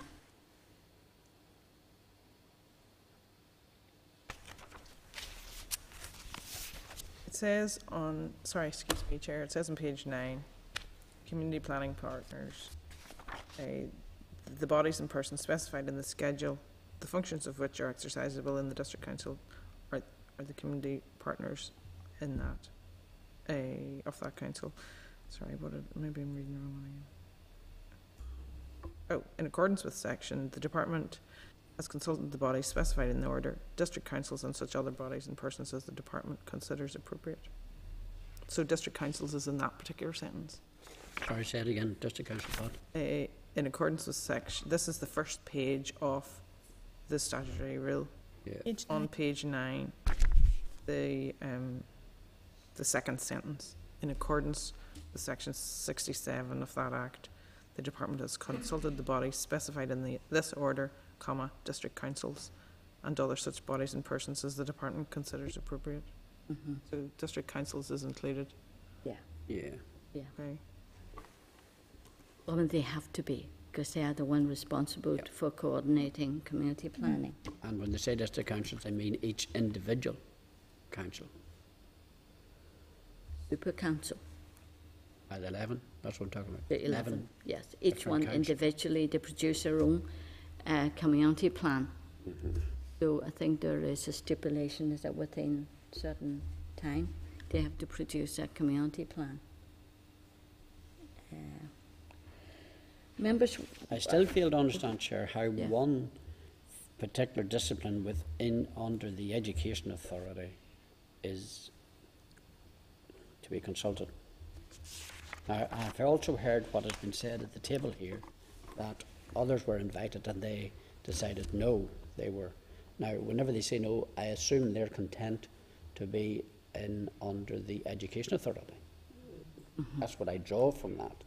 But that may not necessarily be it, because they, they specifically mentioned the integrated sector. Mm-hmm. Said no. which are then the, uh, what they call the supporting partner, not mm-hmm. statutory They are still in the community planning kind of forum. Chair, did, did, did Mm-hmm. excuse me, did the official not say that um, uh, the integrated sector were interested in in being a named partner, but then because of resource issues, That's right. kind of pulled back on that Yeah. position? Yeah. But it does seem a little bit unfair that you know if if there are bodies with more resource that they, Yeah. On the face of it, could potentially have another bite at the cherry because they have the resource to do so. Yeah. It's, it just doesn't. Yes. Um, Unfortunately, integrated sector is always under-resourced. You think that a poor Yes. relation, Chair? They are, I'm afraid so. Yeah, yeah, yeah. Fair point. Um, members, we, we come right back and ask maybe specifically for them to, to answer us. You know, do they feel that uh, CCMS is having a second bite of the cherry? We want assurance that, you know, they are not going to have additional weighting in the decision-making process and would that satisfy I you? think, Chairman, what we- we're saying, that we want all the strands within education to be treated equally. Mm-hmm. Not some to be more equal than others, or maybe to be even fairer than that, not to be perceived to be more fair than others. But then integrated sector is supporting partner is still within that forum. So Yeah. how do we deal with the integrated sector? Well, yeah, well, the, the statutory and integra- and supporting is, I mean, I, I see them distinctly different here. And that, I, I don't have a problem with that. So, I mean, if all the, um, the sectors within education are in a supporting uh, role, that might be all right. Uh, but I think to make some more equal than others is, I think, sending out the wrong message. Maybe we would ask them to clarify about the difference between the supporting partners and between supporting partner and the statutory partner. I think, that, I think I'll be right, Chair, because it, this may be a much ado about nothing, but it's Yes. Perception. Yeah. And I think we need to be clear yes, on I know, I know. what, But- what the reality Yes. means, what the outworking Yeah. of that scenario would mean. Yeah, but I'm conscious we also don't want to be seen to be picking out CCMS. No, no, that- say that- that, that's why you know, that, that they should not be in, it's Yeah. in that, you know, I think it's perception, as you say, is And very you could easily be talking Yes. about any of the other Yeah. Um, bodies already included under another umbrella. Yeah. We, we ask for further clarification, members, okay? With that, we'll, we'll bring that back. Yes. When, whenever we've got the response. Okay, we are on to then page eight. Page is eight, it? that's right, Yep, yes. yep, yep. Okay, uh, members, item seven, the pollution in Northern Ireland rivers. Members, uh, briefing from the Freshwater Task Force. I refer, refer you all to a briefing paper from the clerk at page 63, uh, setting out the background to the committee's decision to take oral evidence on river pollution and then closing previous correspondence received by the committee in relation to this matter. It also includes an answer to a written assembly question on fish kill uh, members. Um, Certainly, um, we can just go on to sixty-three, and then, um, we're going to first of all to talk to uh, members to the NI, to uh, NIEL an RSPB from the Freshwater Task Force, and then we are going to have the anglers uh, after this. Yeah, yeah, yeah, sure, sure. Um, in fact, the departmental letter saying there is really a lot of good work done by NIEA, but I'm waiting for you to tell me whether that's true. Um, they're saying a lot of work's been done by NIEA in the last five years. Uh, a lot of local groups and local representatives have been, you know, kind of helping and keeping an eye on it. And uh, you're all very welcome again. Uh, that's Stephen McCabe, um, NIEA Senior Policy Officer, and John Martin, uh, RSPB. John, I found my brooch. So uh, I told them I lost it, I, but I found it. So I'm Good. wearing it Good news. today. Good news. Yes, yes, yes. This is the I'm the champion of Swift. Just to remind members now, Pam is yeah, Pam is barn owl, and Gary is Squirrel, Red Squirrel, and Sandra, you haven't Oh, I have. Oh, Yeah. have you? The pearl mussel. Yeah, I was on the top of the list I chosen along with you. All right, okay. They haven't circulated it to Freshwater pearl tell mussel, everyone. yeah. I must tell them to do that. Yes, yes. Just did, lot they more you you. haven't now. William, No, I haven't, you, but I had, then, I, I, I was going for a, a fish species, uh, but I haven't confirmed it, here, but I think I'm down just to one. Okay. It's the only one on the list now, pollan. Okay. Or you want to have a bit f- more further research to give you a bit more choice? That's what I was looking for, Chair, actually. Yes, Only we'll- for we'll that I would ask have them. had- We'll I would ask have them, res- I- I would have responded. okay. William, this is um, all the environment, well, all MLAs, but particularly members of the Environment Committee. Um, when we sponsored the Environment Week in partnership with uh, NIEL, uh, Northern Ireland Environment Link, that uh, every person, every MLA here should be a champion, or will have, will have the chance, the opportunity to be the champion of a rare or endangered species uh, in your constituency. We have a like a table uh, for each constituency uh, where the the species are. So uh, we asked them to send you the list Okay. for your consideration. Okay. Uh-huh. And they, they are very clever and they email all the uh, Environment Committee members whenever someone has picked uh, a, a species. So we're on your back watching.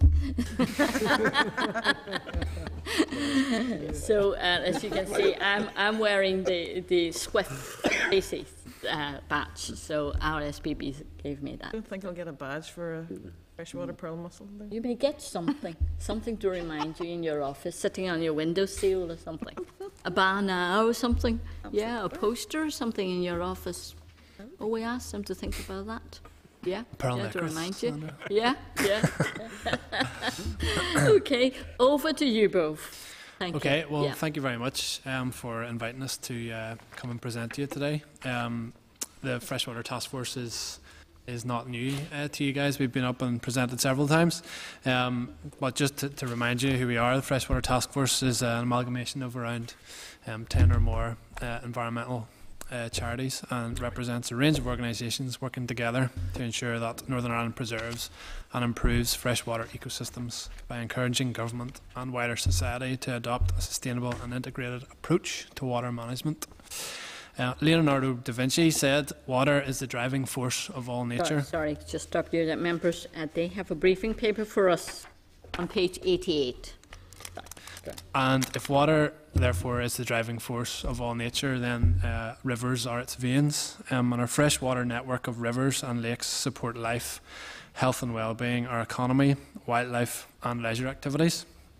Um, and our rivers and lakes provide society with numerous benefits and ecosystem services, including drinking water, water for bathing and sanitation, water for food production, hydroelectric power generation, water purification and waste removal, nutrient cycling, recreation, flood control, and climate regulation. However, in somewhere like Northern Ireland and in the UK in general, we probably take water for granted. Um, at the outset, we want to emphasise that the ways in which we use our land have significant bearing on water quality. And in this context, we encourage government uh, to pursue the potential of a land strategy in Northern Ireland. And we've already talked to the Environment Committee about this. Um, and we're very pleased to say that at uh, Environment Week we got uh, cross cross party support for the potential of a land strategy in Northern Ireland.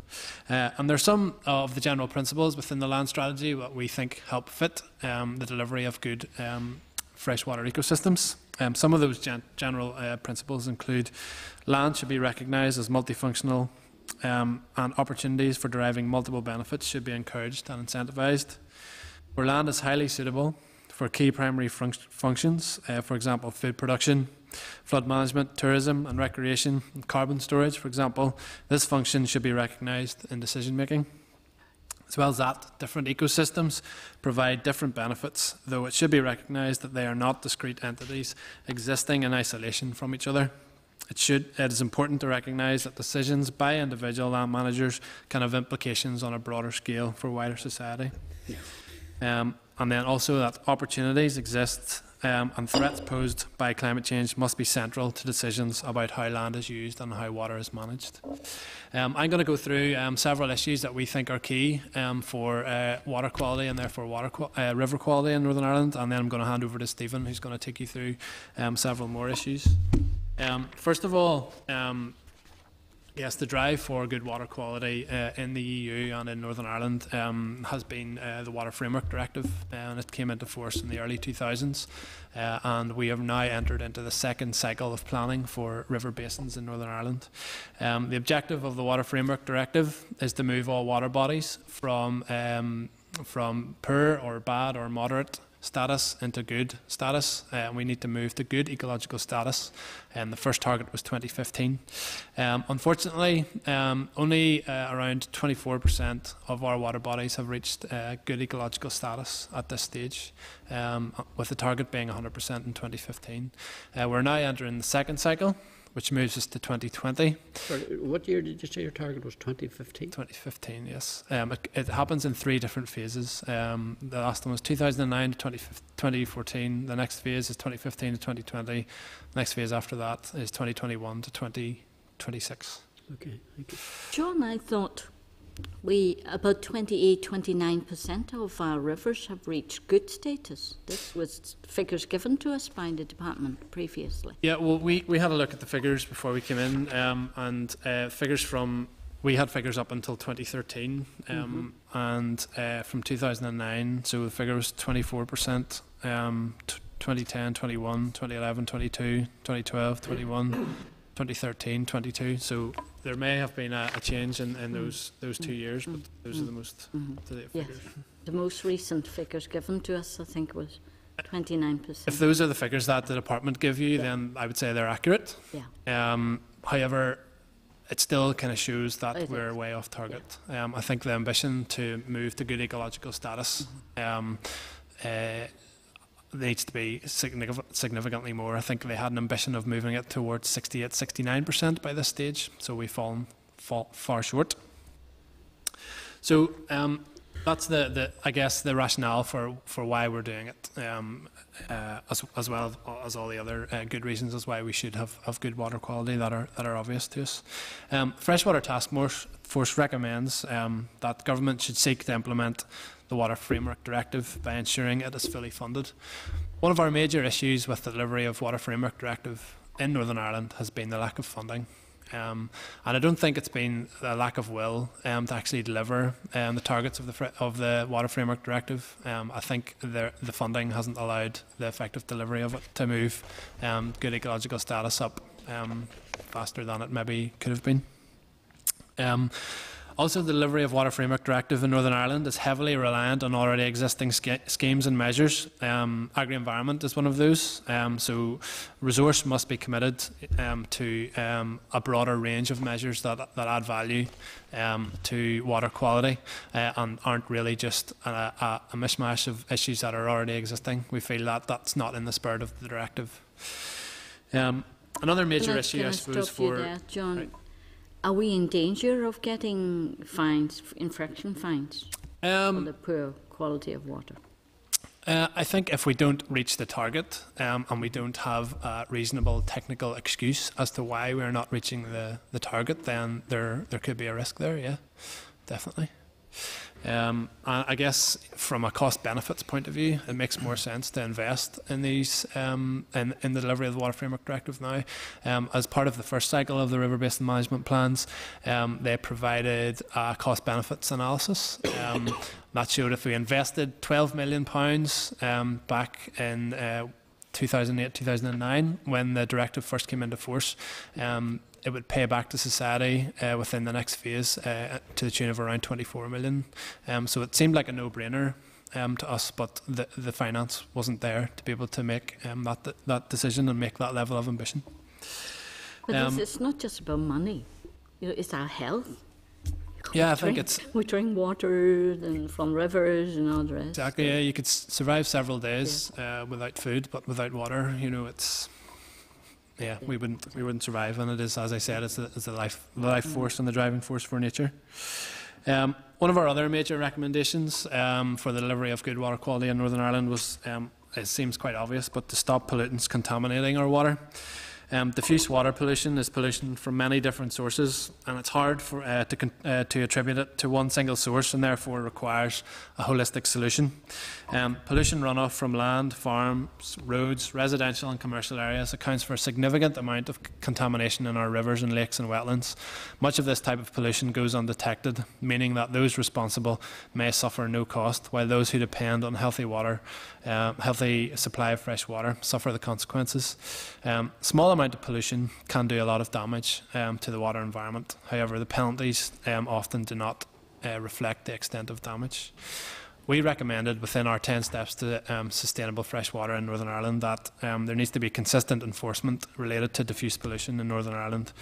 Um, polluters should pay um, and ensure that those who damage the water environment bear the costs through more effective law enforcement and tougher penalties.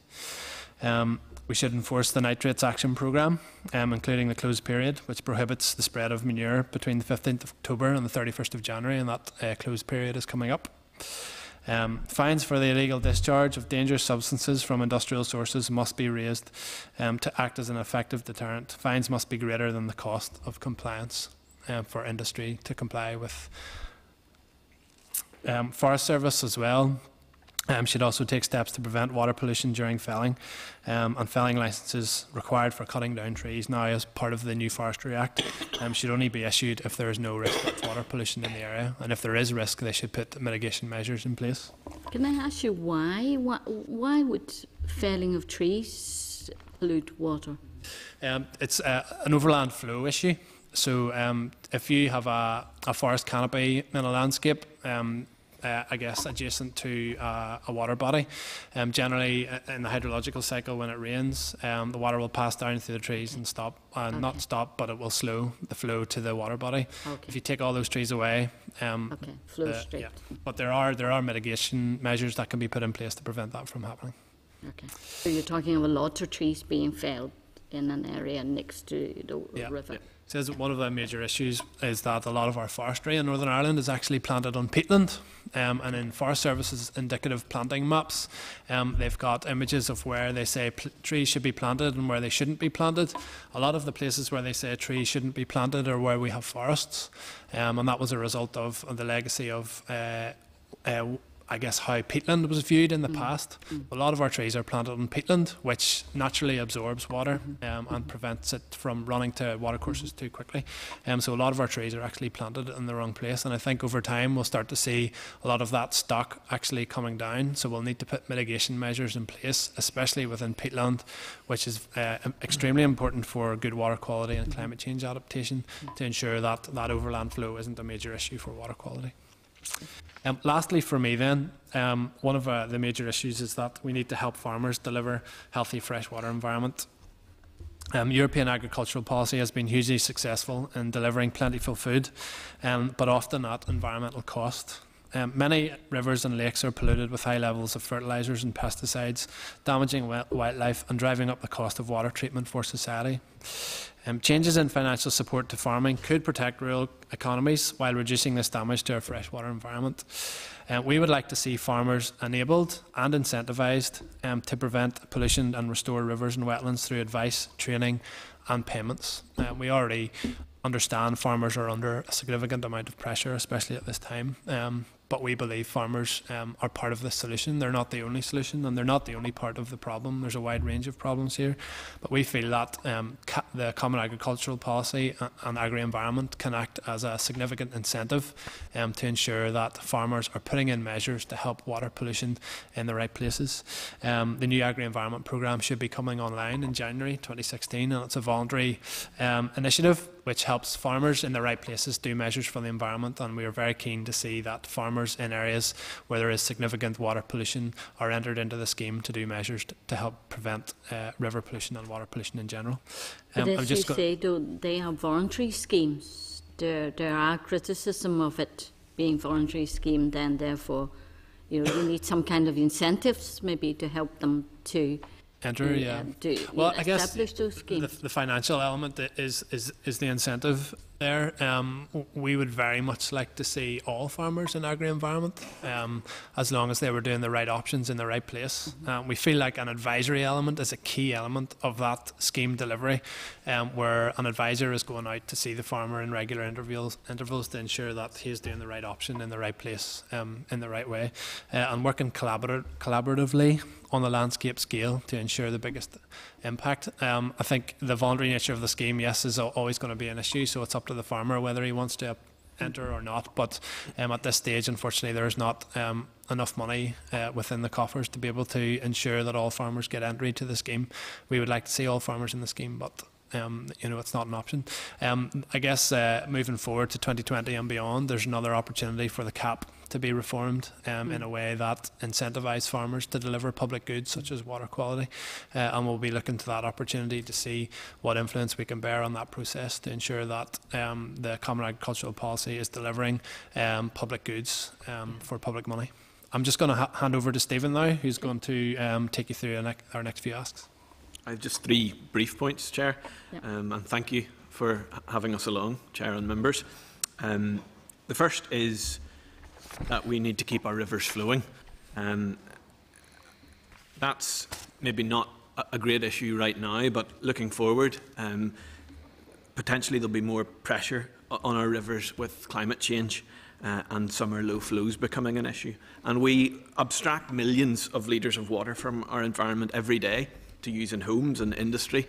Uh, and if we don't make sure that that abstraction is sustainable, we could cause irreversible damage to our rivers. Um, as I say, with climate change, uh, we're likely to see drier summers, and so that we have an increased threat to our rivers and wetlands drying out, uh, with significant implications for the freshwater environment's ability to be resilient to pollutants, their ability to dilute pollution, which rivers are very good at doing. Um, so we would recommend that abstraction be kept to sustainable levels and the full uh, impact of abstraction be taken into account in decision making uh, going forward. An improved why informa- information. Sorry, Stephen, why do we abstract water from rivers? What for? What do we take it out for? use or- For industry use, for factories and agriculture and uh, other uses like that. Large amount? Yes, absolutely. Doesn't all come out of the sky, Chair. I'm not from the agriculture sector.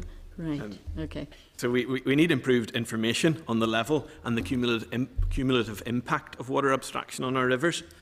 And we would like to see uh, protection of rivers designated as special areas of conservation uh, as of particular importance, that those bodies should receive special protection from the threat of over-abstraction.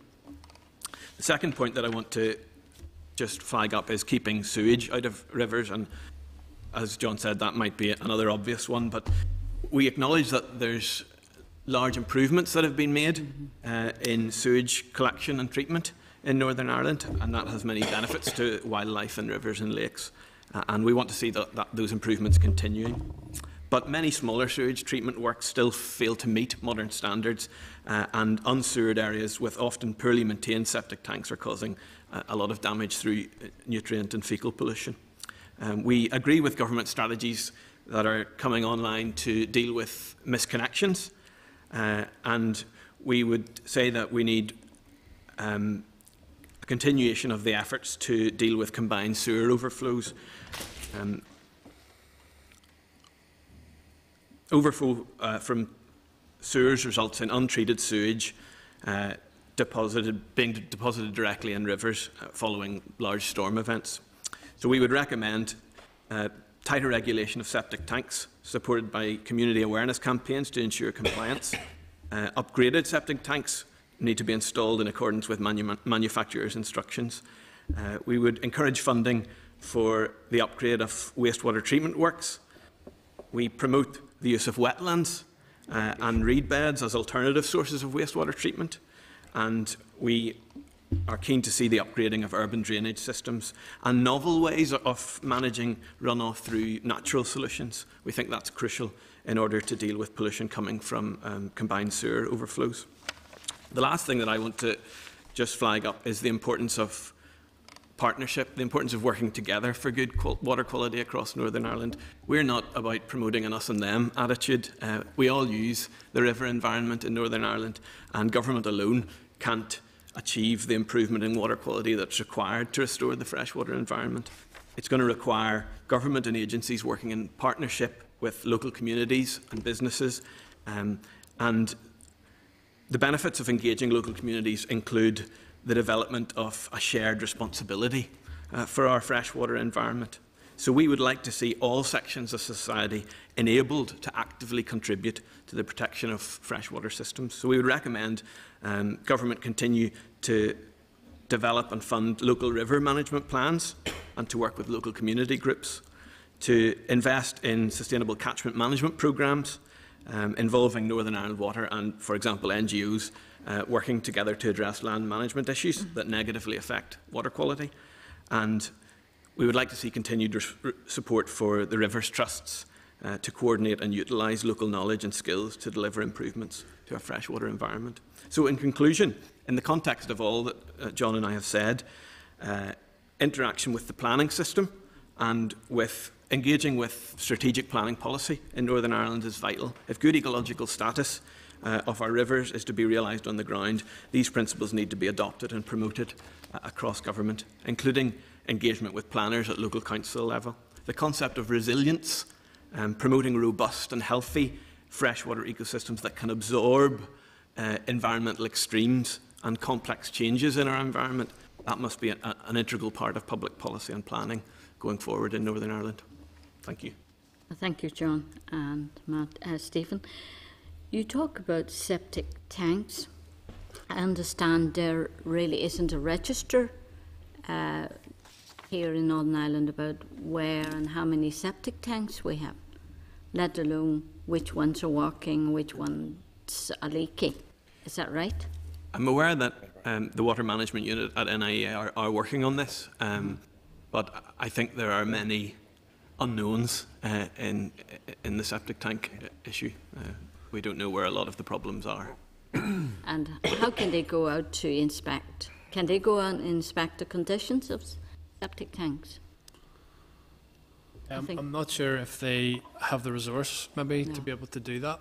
Yeah. Um, and they will re rely on um, reports coming in from the general public on the water pollution hotline um, mm -hmm. to report issues. Um, yeah. But um, there, yeah, there's not. Uh, a robust inspection regime to actually yeah. determine whether they're working or not. Yeah, yeah. I think I was at one of your task force meeting. It was talked at length. There are thousands of septic tanks that may uh, maybe not of the required standards or are leaking.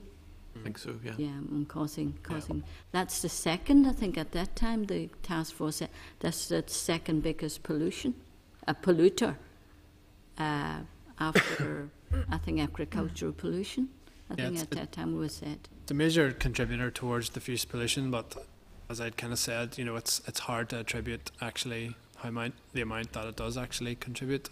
Um, our colleagues from the Ulster Angling Federation who are coming up next will maybe be able to expand on that a little bit more. Um, as they are the boots on the ground, essentially seeing a lot of these failures. Um, I guess we're talking about things from a high level. Because I mean, replacing them or repairing them, I appreciate is expensive. But then, you know, DSD has a scheme like replacing old boilers. Yeah. Maybe there needs to be yeah, a well, scheme was, on, on idea, helping yeah. people to replace old septic tanks? That was an idea that, that we'd uh, discussed, but again, you know, there needs to be money there to actually see the rollout of that, you know. So um, we, we would very much like to see um, something like that happen. Um, but it'd be the, the big issue would be diagnosing where the problem places are. I think if you had a scheme like that, you know, probably a lot of places that had septic tanks would maybe come out of the woodwork and say, "Oh yeah, I've got a septic tank, I, I need it replaced," and they maybe didn't know where they were. So that might help with the register, um, so it might solve a couple of a couple of Yes. problems. Yeah, first of all is to have the data, to know how many we have, where they are, what conditions they are. Yeah. Absolutely. Yeah, yeah, yeah. Okay, uh,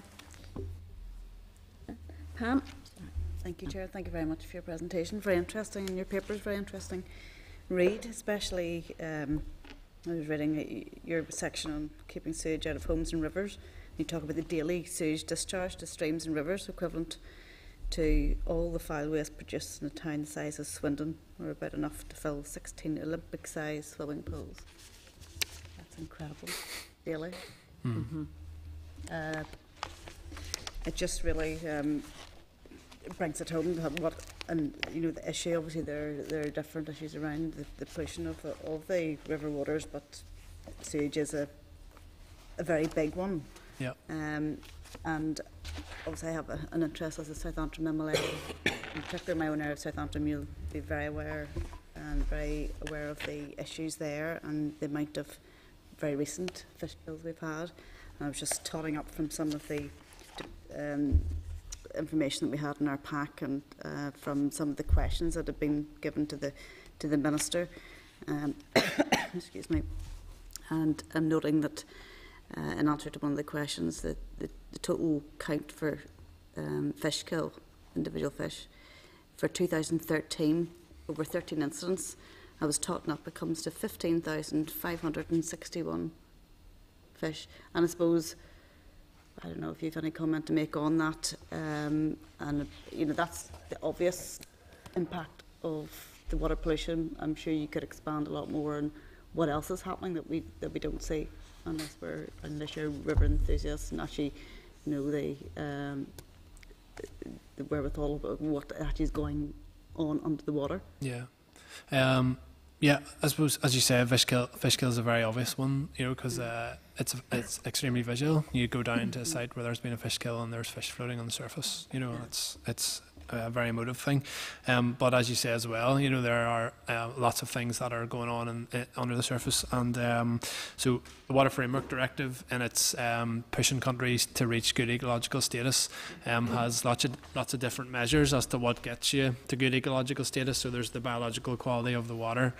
Um, there are the, it's the, the, the invertebrates in the water. There's the chemical quality of the water. Um, so all those things are measured to help get us to good ecological status. And they're, they're, an average is taken of all those different ones to eventually come to that final figure. And as we said earlier, our final figure is, is still quite low in the high 20s when we've been pushing towards 100%. Um, so there's obviously a lot of things that are that are going wrong that are not visual. Um, I guess the term that we would use to describe that is, um, I guess, ecosystem services. So those are the, the services that nature gives us for free. Um, and I guess with human interaction, um, those ecosystem services have been lessened. So society then has to pay to replenish those ecosystem services. So that costs Northern Ireland PLC to ensure that we have good water quality, to ensure that we take uh, all those kind of bad things out of the water that are coming through our taps, um, cost Northern Ireland water money, you know, to do all that. So society has to pay for all that. Um, and if I guess we manage those things better to ensure that ecosystem services, for want of a better term, were in better condition, then society would have to pay less um, to take those things out. So um, yeah. Yeah, it, it, it's, as- it's the same as uh, many other walks of life within within government, especially we see you talk we talk about early prevention in terms of health. It's the- the same thing as Yeah.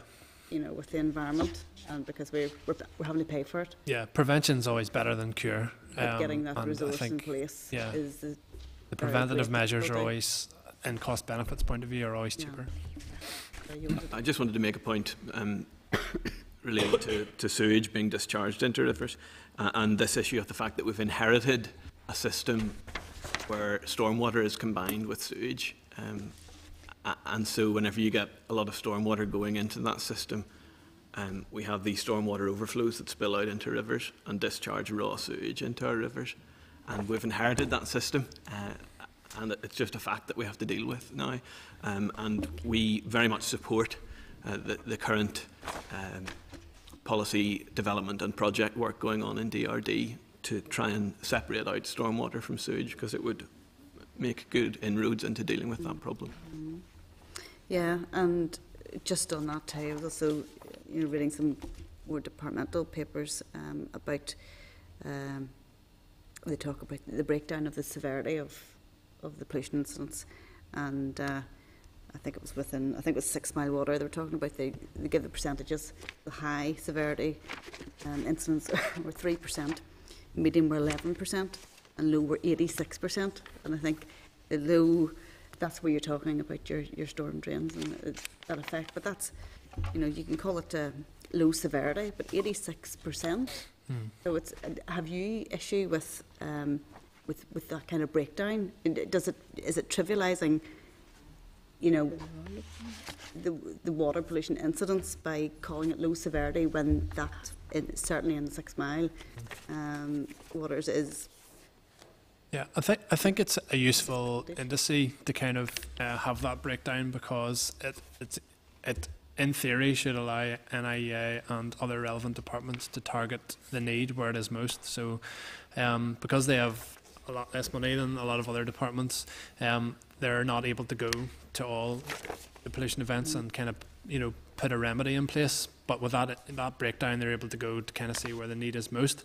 My issue with it is the cumulative impact. So out of that 80 86% of those small um, incidences, what is the cum- cumulative impact of all of those incidences together?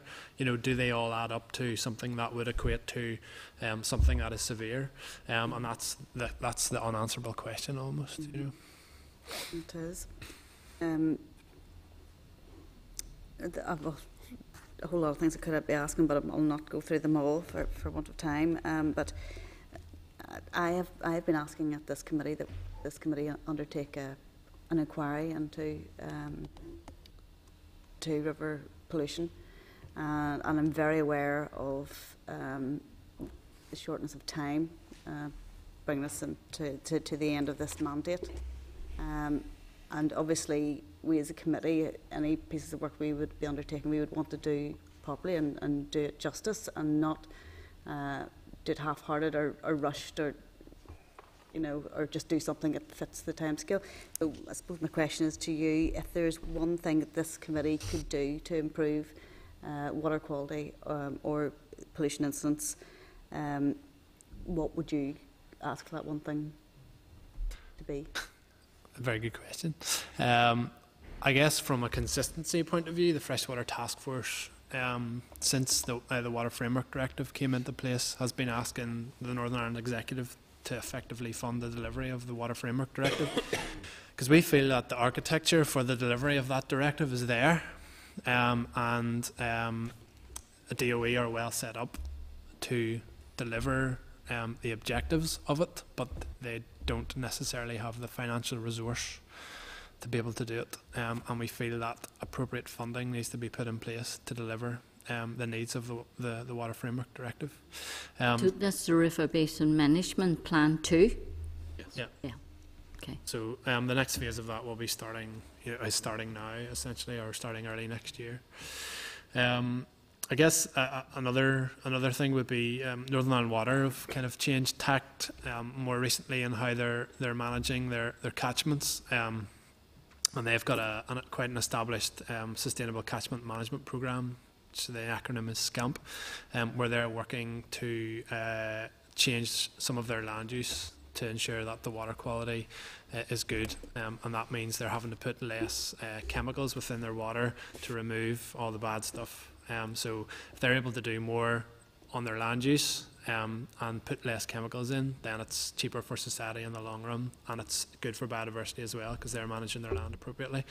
So we would kind of look for committee support to continue to support that initiative that Northern Ireland Water are taking as well. Okay, thank you. Uh, Lord Morrow? Uh, Chair, can I thank both gentlemen for their presentation? It's an, it's an excellent presentation, and it takes a very holistic view of everything. But I don't see any costings done here to make it all happen. And I suspect if there's no funding, there's no action here. What sort of costings are we talking? How many hundreds of millions are we talking about here? Yeah, well, that's a very good question again. Um, and uh, one of the things that the Water Framework Directive um, asks uh, European citizens to do is to do an effective cost benefits analysis for the delivery of the policy interventions that they have decided to take. Um, and there was, I mentioned that earlier, so that uh, Atkins analysis said that um, an investment of £12 million earlier in the programme would have returned to society um, a benefit of £24 million at the end of the programme. Um, the we know that Water Management Unit are currently working with economists at the minute to develop up what the cost benefits of this next programme are. Um, and we know that at the time of that Atkins cost benefit analysis, uh, Water Management Unit put in a cross departmental bid um, with DOE and other departments relevant for the delivery of water quality to ensure that the water framework deliver was delivered effectively. Um, but that bid, unfortunately, um, was rejected at the time. It was two million pounds. I think they get eighty thousand or something like that. Yeah. Very small amount. Yeah. Um, Yeah. we haven't we haven't um, we haven't costed up all of our asks, and I think you know that is something that we will need to do over time. Um, but from from the Water Framework Directive point of view, we know that um, the cost benefit analysis has to be done and is currently being done. So we're looking forward to seeing what the outcome of that is in the near future. Hopefully before Christmas that will be ready, um, and Water Management Unit will be leading on that. That's good. Um, you've said here in your paper that the European Water Framework Directive says you must restore our rivers and lakes and wetlands by 2015. We haven't long to go to get it done, have we? We're going to meet that target. Yeah, but, Three uh, months or less. yeah, twelve weeks. Yeah, yeah, it's unlikely we'll meet that target. So um, that's why. What happens if we don't meet it? So they've done they've they've done it in three phases. Um, so it's uh, the first one was 2009 to 2015. The next one's um, 2016 to 2021, and the one after that is 2021 to 2026. Um, so at the end of each phase, you have to report back to Europe um, as to what level of good ecological status you're at and why you have not got further than you're supposed to. And um, a lot of European countries are struggling uh, with this at the minute um, because a lot um, have struggled to actually meet the targets. And Europe wanted to set ambitious targets um, to ensure that member states moved along the way and put finance in place to ensure delivery. But uh, Northern Ireland, as a member state, um, as part of uh, DEFRA in the UK, then reports back to Europe and says, um, these are the technical reasons as to why we have got to where we are, and this is what we think we need to do to get to the next step.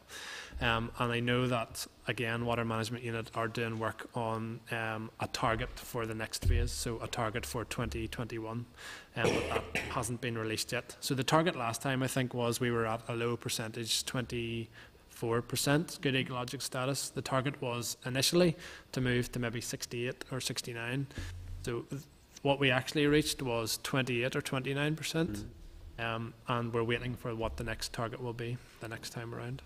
I think the target was set at fifty-nine percent at that time. Yeah, for 2015. And we're in just So there'll be a, there'll be a range of kind of different technical um, responses from the department as to why they don't think they can um, reach the targets this time around.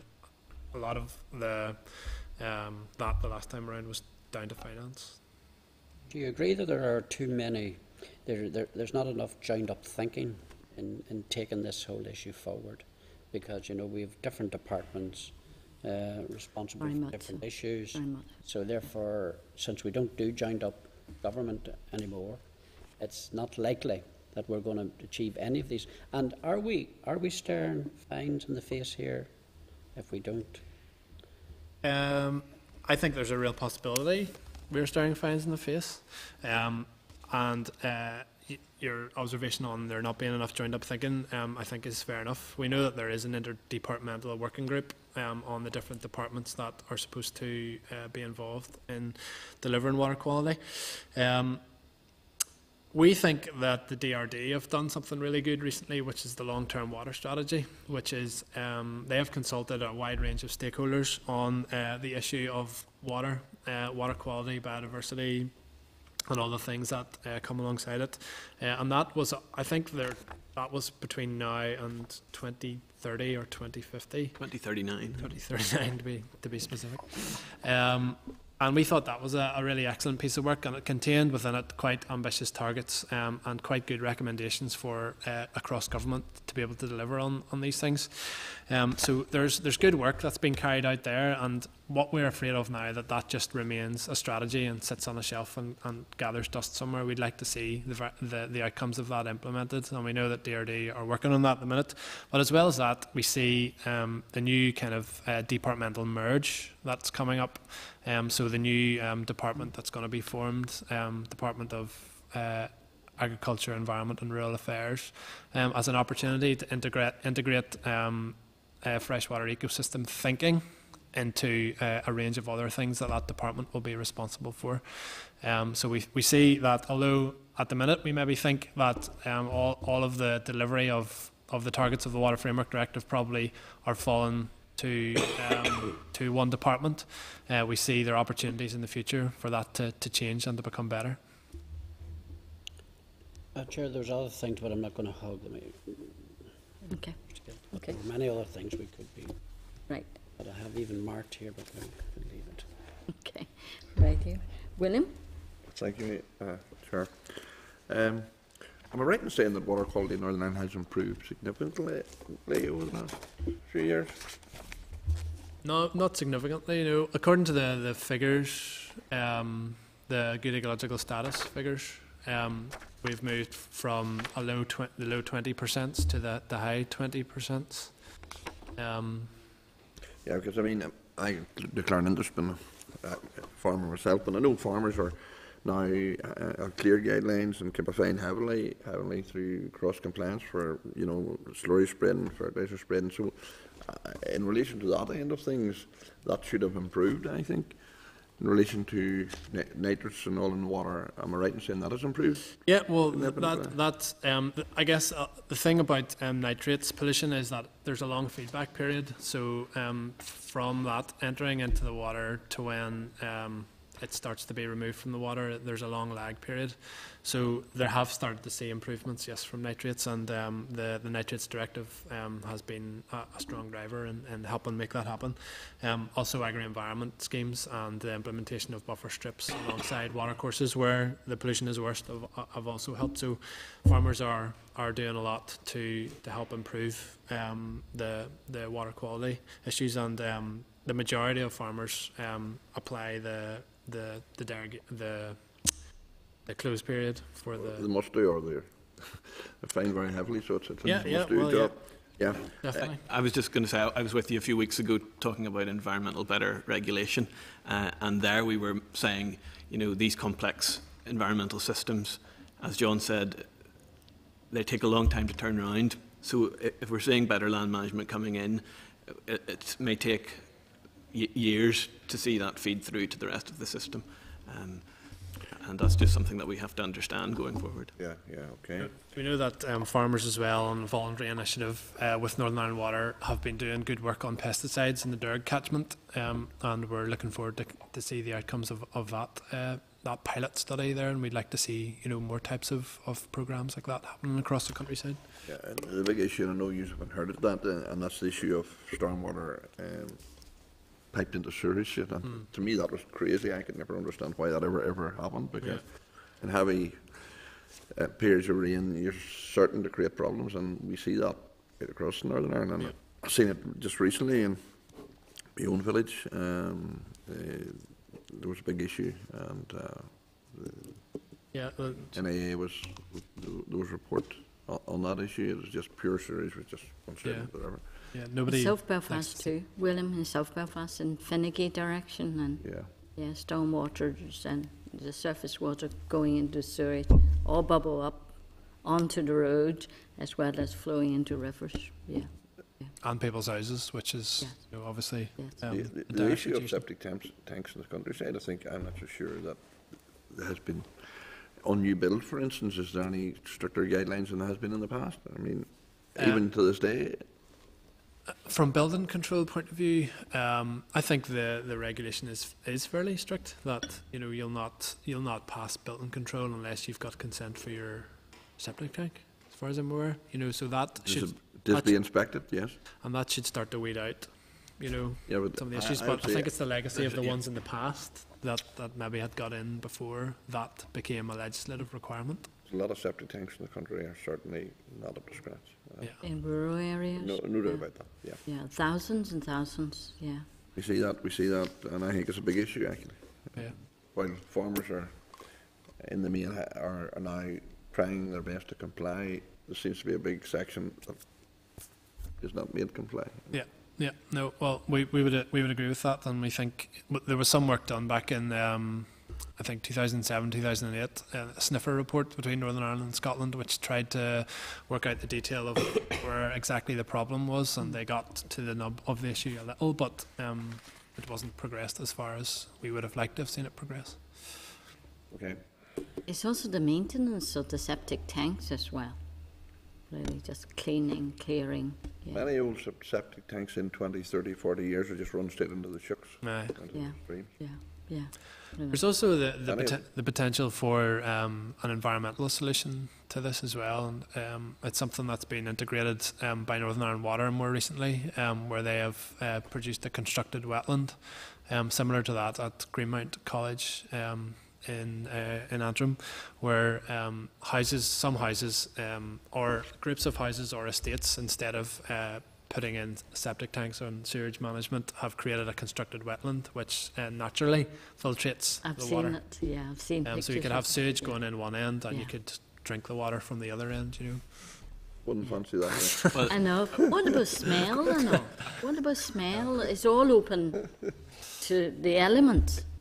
I, have heard reports that the Yeah. smell is okay, but uh, I haven't yeah, I actually. read about it and I've seen pictures of it. The kind of filtering. ta- It's almost like a big filter, kind of filtering that's- that's and exactly the absorbing idea. the, the And it- toxins and yeah. It's a great solution because it, it cuts cost, but it also provides lots of other benefits Yeah. in terms of it can be used Biodiversity and- biodiversity, recreation. you know. But no, like William, I'm a Okay. bit sceptical about the end of it. yeah. yeah. Thank you, Chair, and thanks, lads, there for the presentation. Uh, just on the, the septic tank stuff, you know, uh, I think that there probably are a lot of septic tanks discharging into the into the water streams and that. But uh, you know, as, as my knowledge there that from 1970, one or two, you know, that that all homes there had a uh, get uh, consent to discharge. You know, so therefore, those septic tanks there uh, have been given the, the the green the green light, if you like, you know, to do the, what they're doing. Yeah. And now, you know, uh, these people will, will say and have said to the like myself, you know, that um, it's unfair that we have to now uh, upgrade our tanks, you know, without assistance, Hmm. you know, from from the powers to be. Mm. So, you know, the, the, the point that was made earlier on, you know, regarding the, the boiler replacement scheme and the, the septic tank re- replacement scheme, I think that's a, a fair good idea, you know what I mean? And I think from my own point of view, I have asked the researchers there, you know, to research into as to how that might ever come about. I know it boils down at the end of the day to, to money, but it's something there, you know, that we need to take forward. But also concerned to me is there, you know, you talked about the number of treatment works or treatment plants that aren't uh, up to scratch either, you know, and that's even more concerning, you know, that, that people that are in a position to, to uh, criticise or, or, or whatever, right, are actually doing it, them, you know, are not up to standard themselves. How many of those there would you estimate there are around? Uh, we wouldn't have any figures on that to hand, but we, we would probably be able to get them. I would say they're on the in the public domain. But again, our colleagues from Ulster um, Angling Federation might be able to give you more up to date figures on that. But we do know that um, the the water infrastructure, water and sewage infrastructure in Northern Ireland is you know massively outdated, and Northern Ireland Water have done a lot in recent years to invest in that. Um, but I guess their request for funds every year to pricing controls um, and the utility regulator, um, they always get significantly less than what they think they need. I think the last re- request was in and around two billion, and they got eight hundred million. Um, so it's they don't get enough money to actually do what they need to do, which is why a lot of these uh, wastewater treatment works are not functioning as well as they could. Um, there is an opportunity through the, the Interreg programme, which is coming forward for uh, Northern Ireland Water to uh, apply to that and invest um, in, in, in infrastructure there, and um, we would very much support um, that you know infrastructure change. But we very much like the, the, the road that they're taking in terms of the, the soft engineered solutions as well. So those those solutions that have multiple benefits, not just for the the problem that's a a a point source problem, but a problem that is a, a you know a wide ranging one. Well, I think, I think there myself there that, um, you know, when you're talking about modernised tanks, now you're talking between three and five thousand pound, you know, to these in. And a lot of people there, you know, that in the countryside that, that have their houses built for quite a number of years. There's pensioners, there's old people, you know, there, and they're just not, uh, fit to, to, uh, to fit the bill, if you like, right? Yeah. And therefore, you know, there are many tanks that could be re- uh, replaced with assistance there from central government or, or some, some, somewhere along the line, right? So I think there, you know, it's something that needs to be explored and, and, and pushed, you know, as hard as possible, because, you know, the countryside there, people are not going to inform on their neighbours, you know, that that there's leakages into, to whatever, whatever, right, you know, but if they had assistance there, you know, and, and help there with financially, well, then you'll find that the environment would be a better place off. Yeah, yeah. No, we'd agree. A similar issue is where you have misconnections in homes of sewage uh, being connected up into storm drainage. Um, Yep. And uh, we would be very much in favour of something like a, you know, an amnesty of people coming forward and getting those corrected. Yeah. Uh, Yeah, yeah. And that's what, builders cutting corners, really, is it? Potentially, or just not knowing the right way of doing things. That's stupid. It's a big shame, yeah. Yeah, yeah. Thank you, Chair. Okay, yeah. Uh, Sandra? Uh, thanks, Chair, and thanks for your presentation. I just thought I would come in um, on the farming end, and I just really wanted to get your view on the, the close period for the slurry spreading, and and did you feel that there was, have you analysed, you know, the occurrence of incidents around, in relation to the close period?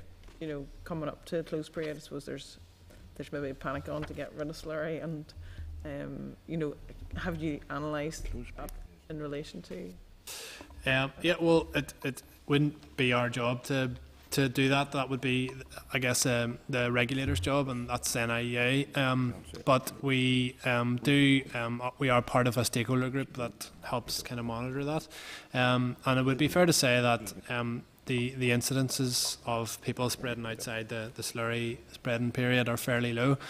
And that's one of the reasons why we support the date, um, is because um, it's a it's a date that all farmers know. Um, and uh, there was, I, I guess, things proposed at a certain stage that um, you could um, put um, different dates on depending on what the weather conditions were like at the time. But we feel like the, the averages had to be taken account of, and all farmers know the date. And if more farmers know the date, there's less chance of of uh, of of, of uh, doing something outside of the date. Um, but we do know that there's a derogation that um, is currently out there, and I think that it has produced a bit of a grey area for some farmers.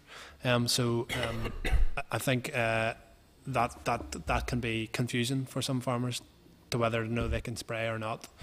Um, and I think the, the guidance for that needs to be as clear as possible, you know, with on DARD's website and the regulator to ensure that you know those spraying are are doing doing so if they have the derogation. Um, but we the the incidence of farmers spraying outside is, is, is fairly low. Thanks for your thoughts on that. Okay, Chair. Thank you. Right, you. Well, thank you very much on a uh, very good paper, as, as someone else, as Lord Morrow said, and thank you very much for your presentation. We'll think up a number of questions for the department, um, probably send your paper to them and Okay. ask for the response, you know, to, to all the issues you put forward to. Okay. Thank we'll very talk to you much, soon. Thank you. Yeah, All the best. thank you. Thanks. Um, let me just send the paper and. Yeah, yeah, yeah.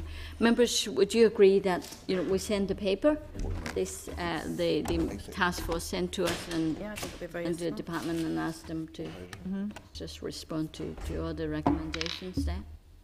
Uh, unfortunately, it's all down to money and resource, really, resources. Yeah. Chair, why yeah. do we not have an NIEA here at a, a meeting like this? They're scheduled We to come on are, the 5th of we are having November. them Fifth to of come. November, Yes, ah. yeah, yeah. NI Water and NIEA are both coming on the 5th of. November. Yeah. Yeah. Yeah. That's fine. And when's the minister coming? Minister's coming next week, Next week, on is his it? Yeah. priorities, Yeah. um, and then uh, NI Water and NIEA are both Coming the coming following specifically week. on river pollution on the 5th of November. Yeah. That's fine. Yeah, Thank yeah, you. yeah. Okay, and next one is uh, the anglers. Um, so uh, they would like to come to talk to us separately from uh, the task force. Yeah, well, they're looking So, for us, yeah. uh, members, you have uh, the briefing paper from the clerk on page 94, and then a briefing paper from the Ulster Angling Federation in your tabled pack at page 13. And um, if we can welcome Ed, uh, Robbie here. We have Robbie Marshall, Development Officer, the Federations, um, the Federation, and then we are having Jim again. Jim Hockey, who Morning. was with us uh, last week, wasn't it? Two weeks ago, yes, yes, on the Better Environmental uh, legislation, uh, regulations. So um, we have got your papers, and uh, Jim, we are a bit short of time. Maybe just five, ten minutes of your presentation. Thank you. Okay, uh, Madam Chairman, thank you very much for inviting us along this morning. Uh, I'll try to keep it as brief as I can. Uh, and I'll not repeat everything that's in the paper, but uh, as has already been reiterated here this morning, um, healthy rivers are good for people, the environment. Reducing pollution runoff into rivers means better water quality, improved health, and a reduction in the cost of purifying water. Uh, we were requested to give evidence on river pollution, but I also intend to mention lake pollution as the two are interlinked, and many have the same common problems. Um, we know about some of the problems with agriculture. It's been fairly well covered. I would say one point that um, the audit committee at Stormont identified many years ago that whilst the nitrate directives would deliver, it wouldn't deliver within the timescales within the Water Framework Directive. And they suggested at that time that NIEA should look at additional uh, measures. Uh, I sit on the stakeholder group for the Water Framework Directive and sit uh, to advise NIEA. NIEA did not bring forward any further measures. Uh, we've talked about CSOs, combined sewer, sewer overflows. Um, as you have said, it's a crazy situation. The uh, wastewater treatment works get overwhelmed in, in rain, and then we have the whole lot just open the plug, let it all out, let it go to the river. Um, I know of some farmers in the Crumlin area, when this happens, there's actually an overflow in the river, it floods the fields, Yeah. and they're left with debris everywhere. Yeah. Um, I've seen it myself. yeah. Yeah. And you see it, sadly, you see it when you go to the river and you see it hanging on the bushes. And it's an awful sight. Uh, it's been alluded to already. We really have too many bodies involved with pollution in Northern Ireland. We have DCAL, NIEA, Rivers Agency, and the Department of Agriculture. And as has been said here before this morning, we don't do joined up government, and that's one of the bigger issues. Yeah. Um, Robbie, I've done that again in Finaghy. I remember standing in someone's garden with really sewage all around on the lawn. I had five or six officers, all from different departments, yeah. including the local council, rivers Well, agencies, DRD, all the rest of them. It's not in the briefing paper, but um, this time last year there was a very serious pollution incident on the Six Mile Water. And if you look up, it was debated in the in the chamber here. And if you look at the Hansard report on that, the Environment Minister at the time said he was going to set up a new task force of all the departments to look into river pollution. I wrote to the Minister and said I would welcome the opportunity to join that group as an NGO and bring expertise from outside. Still waiting. Okay. Um, the planning service, uh, there's one point that uh, John made earlier, uh, and he isn't quite right. The biggest problem is that discharge consents are not part of the planning application. So somebody can build whatever they wish, provided the planners pass it. They can have a £200,000 house.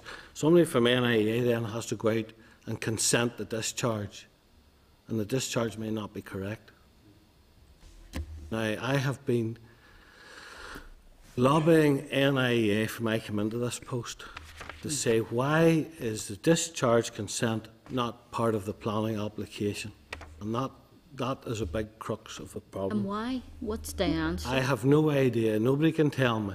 And nobody can tell me why it, ha- in, in the nine years I've been in post, nobody can tell me why it hasn't been fixed. And it really is time that somebody grasped that and did something about it. Uh, poor planning has a lot to answer for in this country. With too many houses too close to the waterways, and then we wonder why, when we have heavy rain, the flood. Um, there are a number of misconnections, that's been mentioned already. Part of the problem is with misconnections, it's not just the builders, it's what happens afterwards where somebody decides, oh, I'm going to put a washing machine out in the garage. So the local plumber comes along, plumbs it in, and he goes to the nearest source to get rid of it. He doesn't know whether the drain he's putting it into is a, a, a storm drain or whether it's a, a sewer. And it should be going to the sewer. And septic tanks have been talked about. One of the biggest problems is that we all use chemicals nowadays.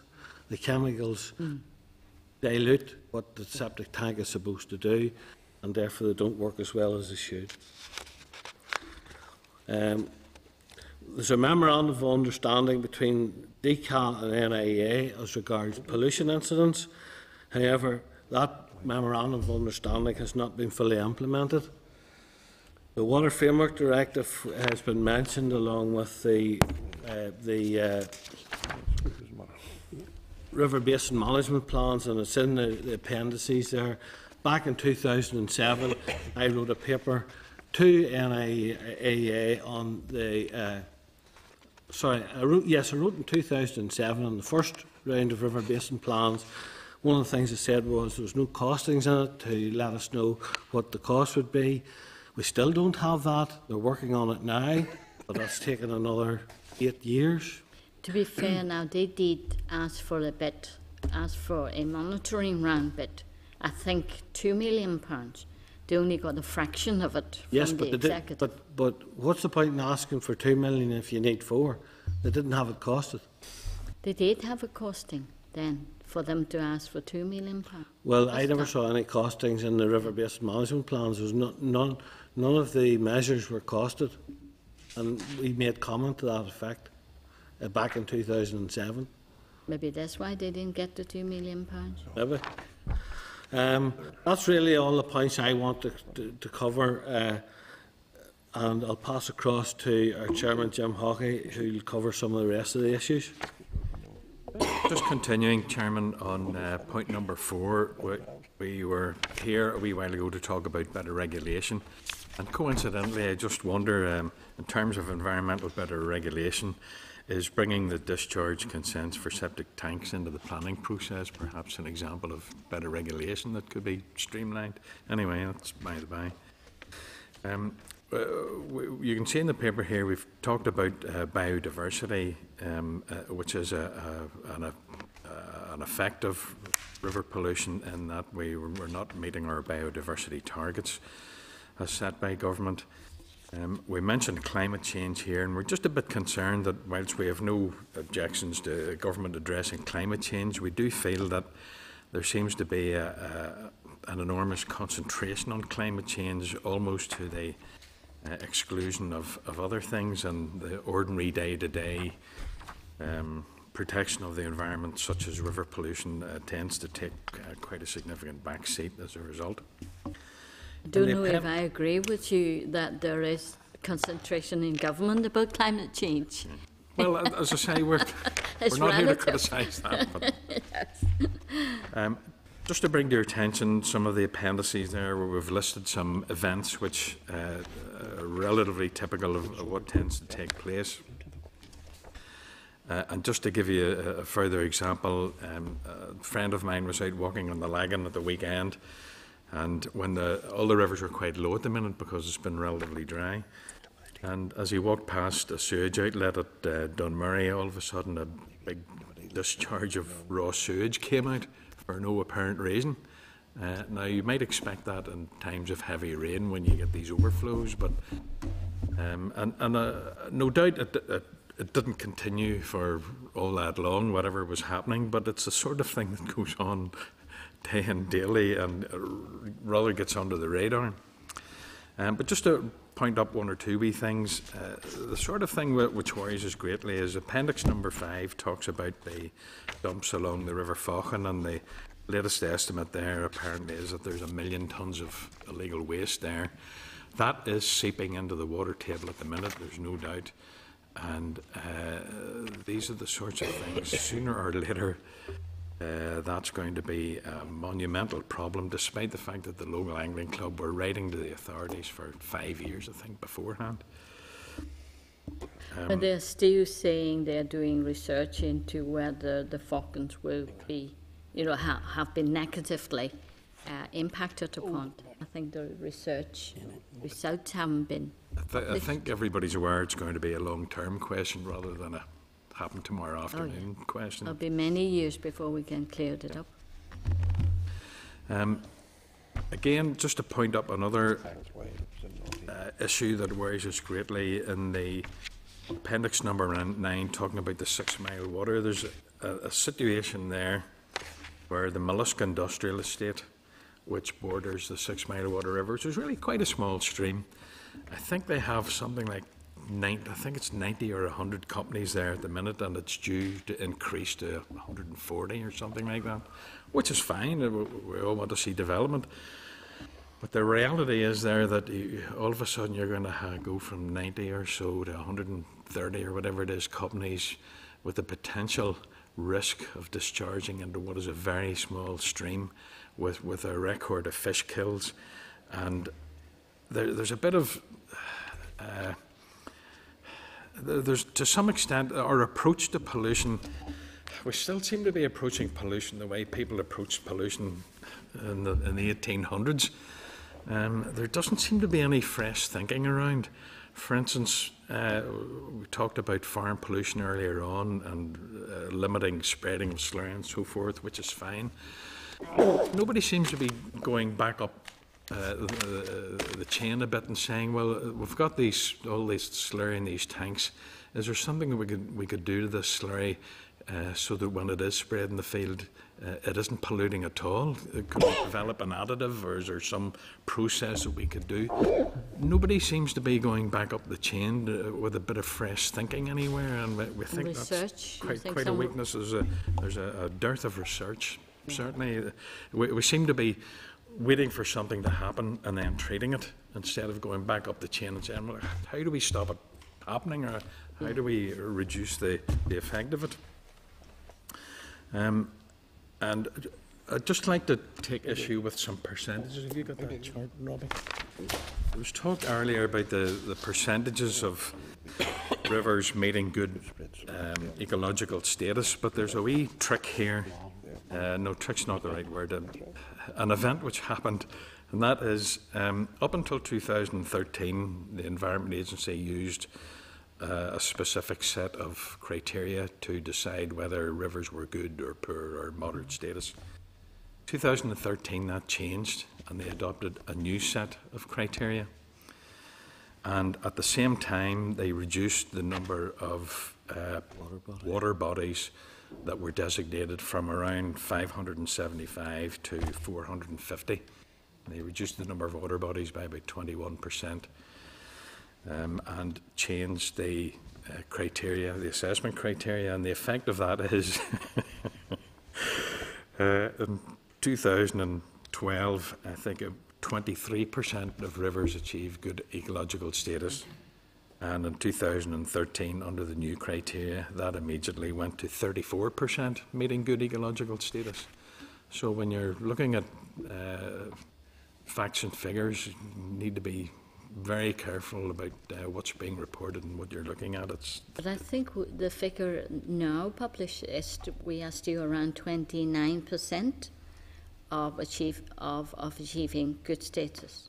Well, th- well, that means it has fallen by five percent since 2013. Then, so I would I've just never heard caution that what, figure. what figures you're you're actually Yeah, being yeah, supplied with. how you there. look at it, yeah. Uh, And figures, basically the figures are very low for where we should be, Yes. considering That's right. of twe- 14 weeks to end of 2015, and we're never going to meet our target. Uh, whenever. Yeah, and just to finish off, we, we just have a feeling that river pollution is a big subject, complicated subject with all sorts of uh, ramifications. But if you just stand back, and I think John Martin alluded to it, that the effect of the nitrates directive, they reckon, is going to take decades, if not centuries, to, to come to fruition.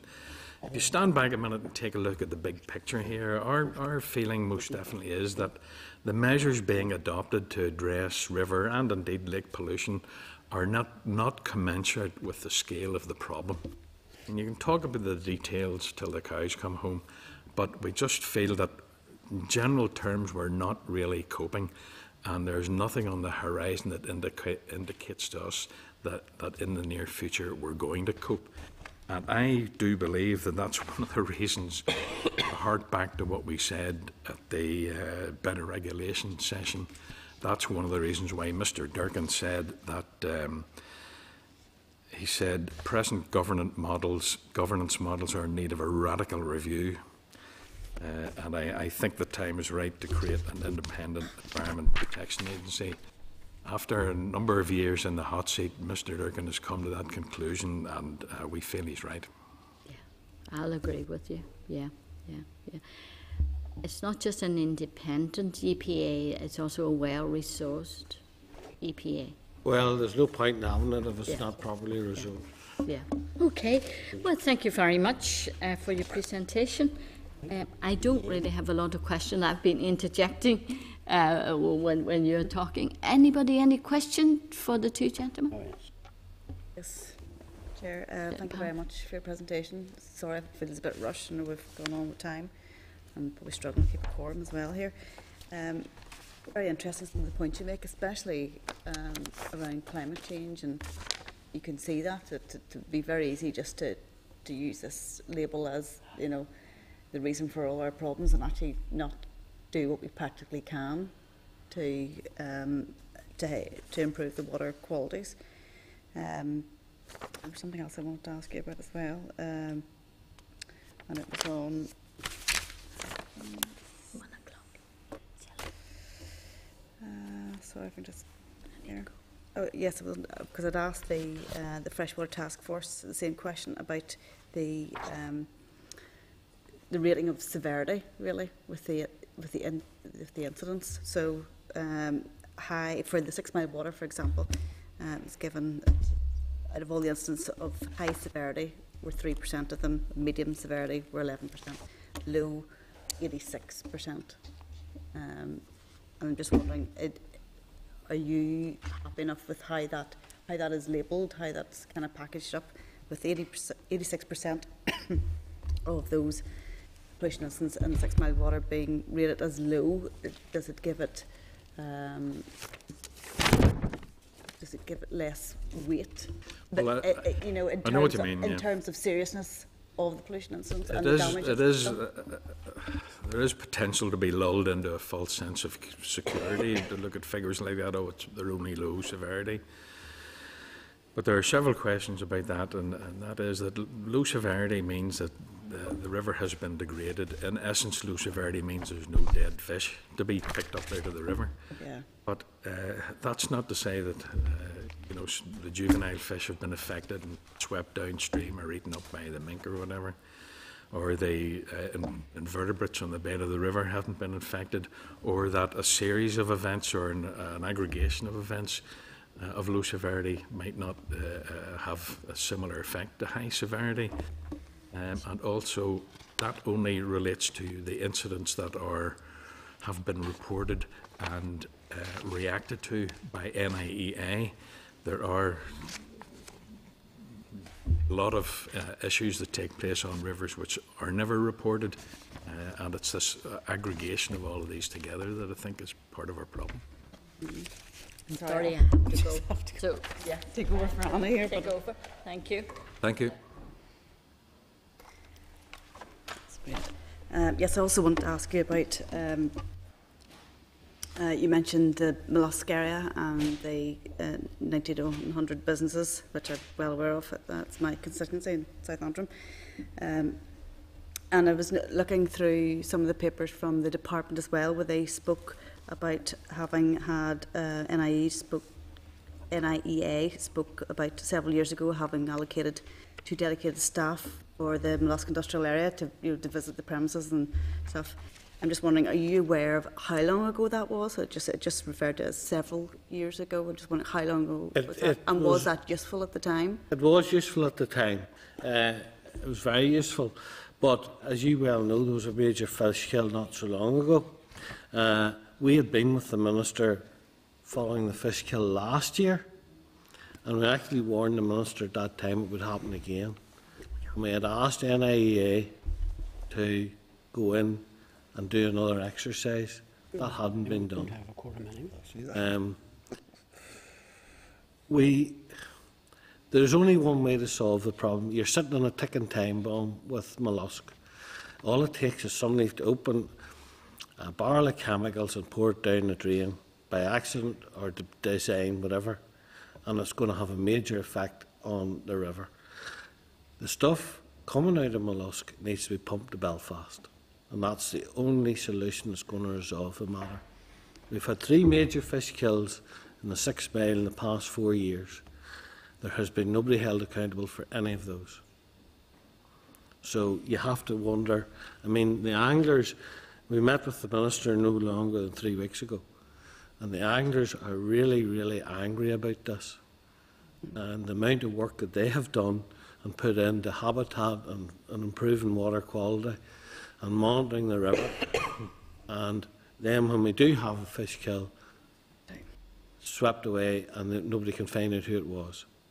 And it will continue to happen unless we bite the bullet and we pump the stuff away. We can't continue to put chemicals into rivers and expect everything to be all right. Thank you for that. Um, just the last one really from me, um, because I'd asked the, the, the Freshwater Task Force people the same question. If there's one thing um, that this committee could do in the limited time that they have before the end of the mandate, and I have been pushing and asking for a, a, a full inquiry into the matter, but if there's one thing this committee could do, what would that be?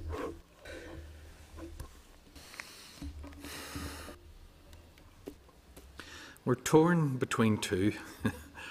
One would be what John Martin said, good implementation of the Water Framework Directive. Mm-hmm. But the second one, really going back up the chain again a, a bit, is an independent environment agency. Okay, thank you very much. Sorry, William, were you looking in on this Oh, particular uh, point? yeah, I think Lord Morrow's looking into for me. Okay, okay. I don't know where I'm on the list. Lord Morrow. Thank you, uh, thank you, gentlemen, for your presentation. And I know time is, but I can assure you, I read all your reports last night, and and uh, I have a particular interest in in the subject. In relation to um, some of, uh, Robbie, I think it was you said it, uh, in, and you were rightly animated about uh, consent for discharge. Yes. Uh, the the technically you don't need plan permission to build a house. No. There's no you need planning permission to build a house. No, you don't actually. Well, Actually, that's the anomaly in the whole thing. You don't need planning permission to build a house. right. Uh, so therefore, I think that that would be a good place to start. Mhm. Uh, there is no legislation that I'm aware of that states you must need you need planning permission to build. Now, it's very advisable to get it because uh, I suspect that if you don't, you might have trouble of selling it. And I do agree with you whenever you say that the discharge consent should be part, should form part of an application. And if you don't need planning permission to build a house, then I think you should need planning permission to build a house because uh, you're taking a big risk uh, in not doing it. So therefore, you could build something and go in retrospect and ask for it, and sometimes you get it and sometimes you might, but it'd be a costly exercise. The one thing about this, that, that one million tonnes of waste. Do you think that that million tonnes of waste arrived there unnoticed? No. So therefore, agencies were probably aware that this was going on. The, the local angling club wrote to them for yes, I, years. I'm aware. Jim, I I actually asked the question because I know the answer. uh, because I know they did. I know they did, and I read all their, their correspondence with great interest, and I, nearly shed tears when I was reading it. It was so pathetic. Yes, they did. So therefore, it's the lack of enforcement. Now, to be fair to the farmers, and I'm not a farmer, so I'm not coming with a vested interest here. If I went out today with a slurry tanker and, and spread a field with slurry, and uh, uh, maybe a piece of steep land, and tomorrow there was a deluge of rain and washed that down the hill, you could hardly say that I set out to pollute or I was negligent. I went out today in good weather during every, time, and I spread that with slurry, and the next thing there was a deluge of rain and it all come down into the. That is not uh, pollution by intent. No. It is pollution, all right. Mhm. And I'm not trying to in any way excuse it or, or say that shouldn't happen. But how do you deal with a situation like that, in fairness? Well, that's why that's what we were saying earlier. We need the Department of Agriculture to go back up the chain and uh, do some uh, research into how to how to reduce the polluting effect of the lake of slurry, and and not wait and, and to treat the thing after it happens, but to go back up the chain and say, well, how can we redu- reduce the polluting effect of this stuff, or what can we do? Can we aerate it, or add something to it, or take something out of it? How do we reduce the polluting effect before it even hits the land? That's the sort of research that needs to be done, but nobody seems to be very interested in it. Uh, uh, I've also spoken to uh, the department and uh, I've been advocating buffer strips uh, across all waterways and that farmers should be recompensed for those. Um, they are intending to bring something forward in the next countryside management scheme along those lines. So even if there was a steep part of the land, the buffer strip would stop it actually reaching the river, the water course. Because it can go into, a uh, as William talks about, it can go into a wee shock, and the wee shock goes into a wee tributary, and the wee tributary goes into the main river. Yeah. And that's what happens sometimes. But if, if we had buffer strips put in, it's a win-win for everybody because it gives the farmer a lane where he can spread to. It creates a natural corridor within the farm for wildlife and uh, it stops runoff. Do you think that would be effective? I think it'd be very effective. This, the, the, I'm not aware of this case at Mallusk because it's not my part of the territory. And you're saying that there's only one way around this is to pump the uh, material to Belfast.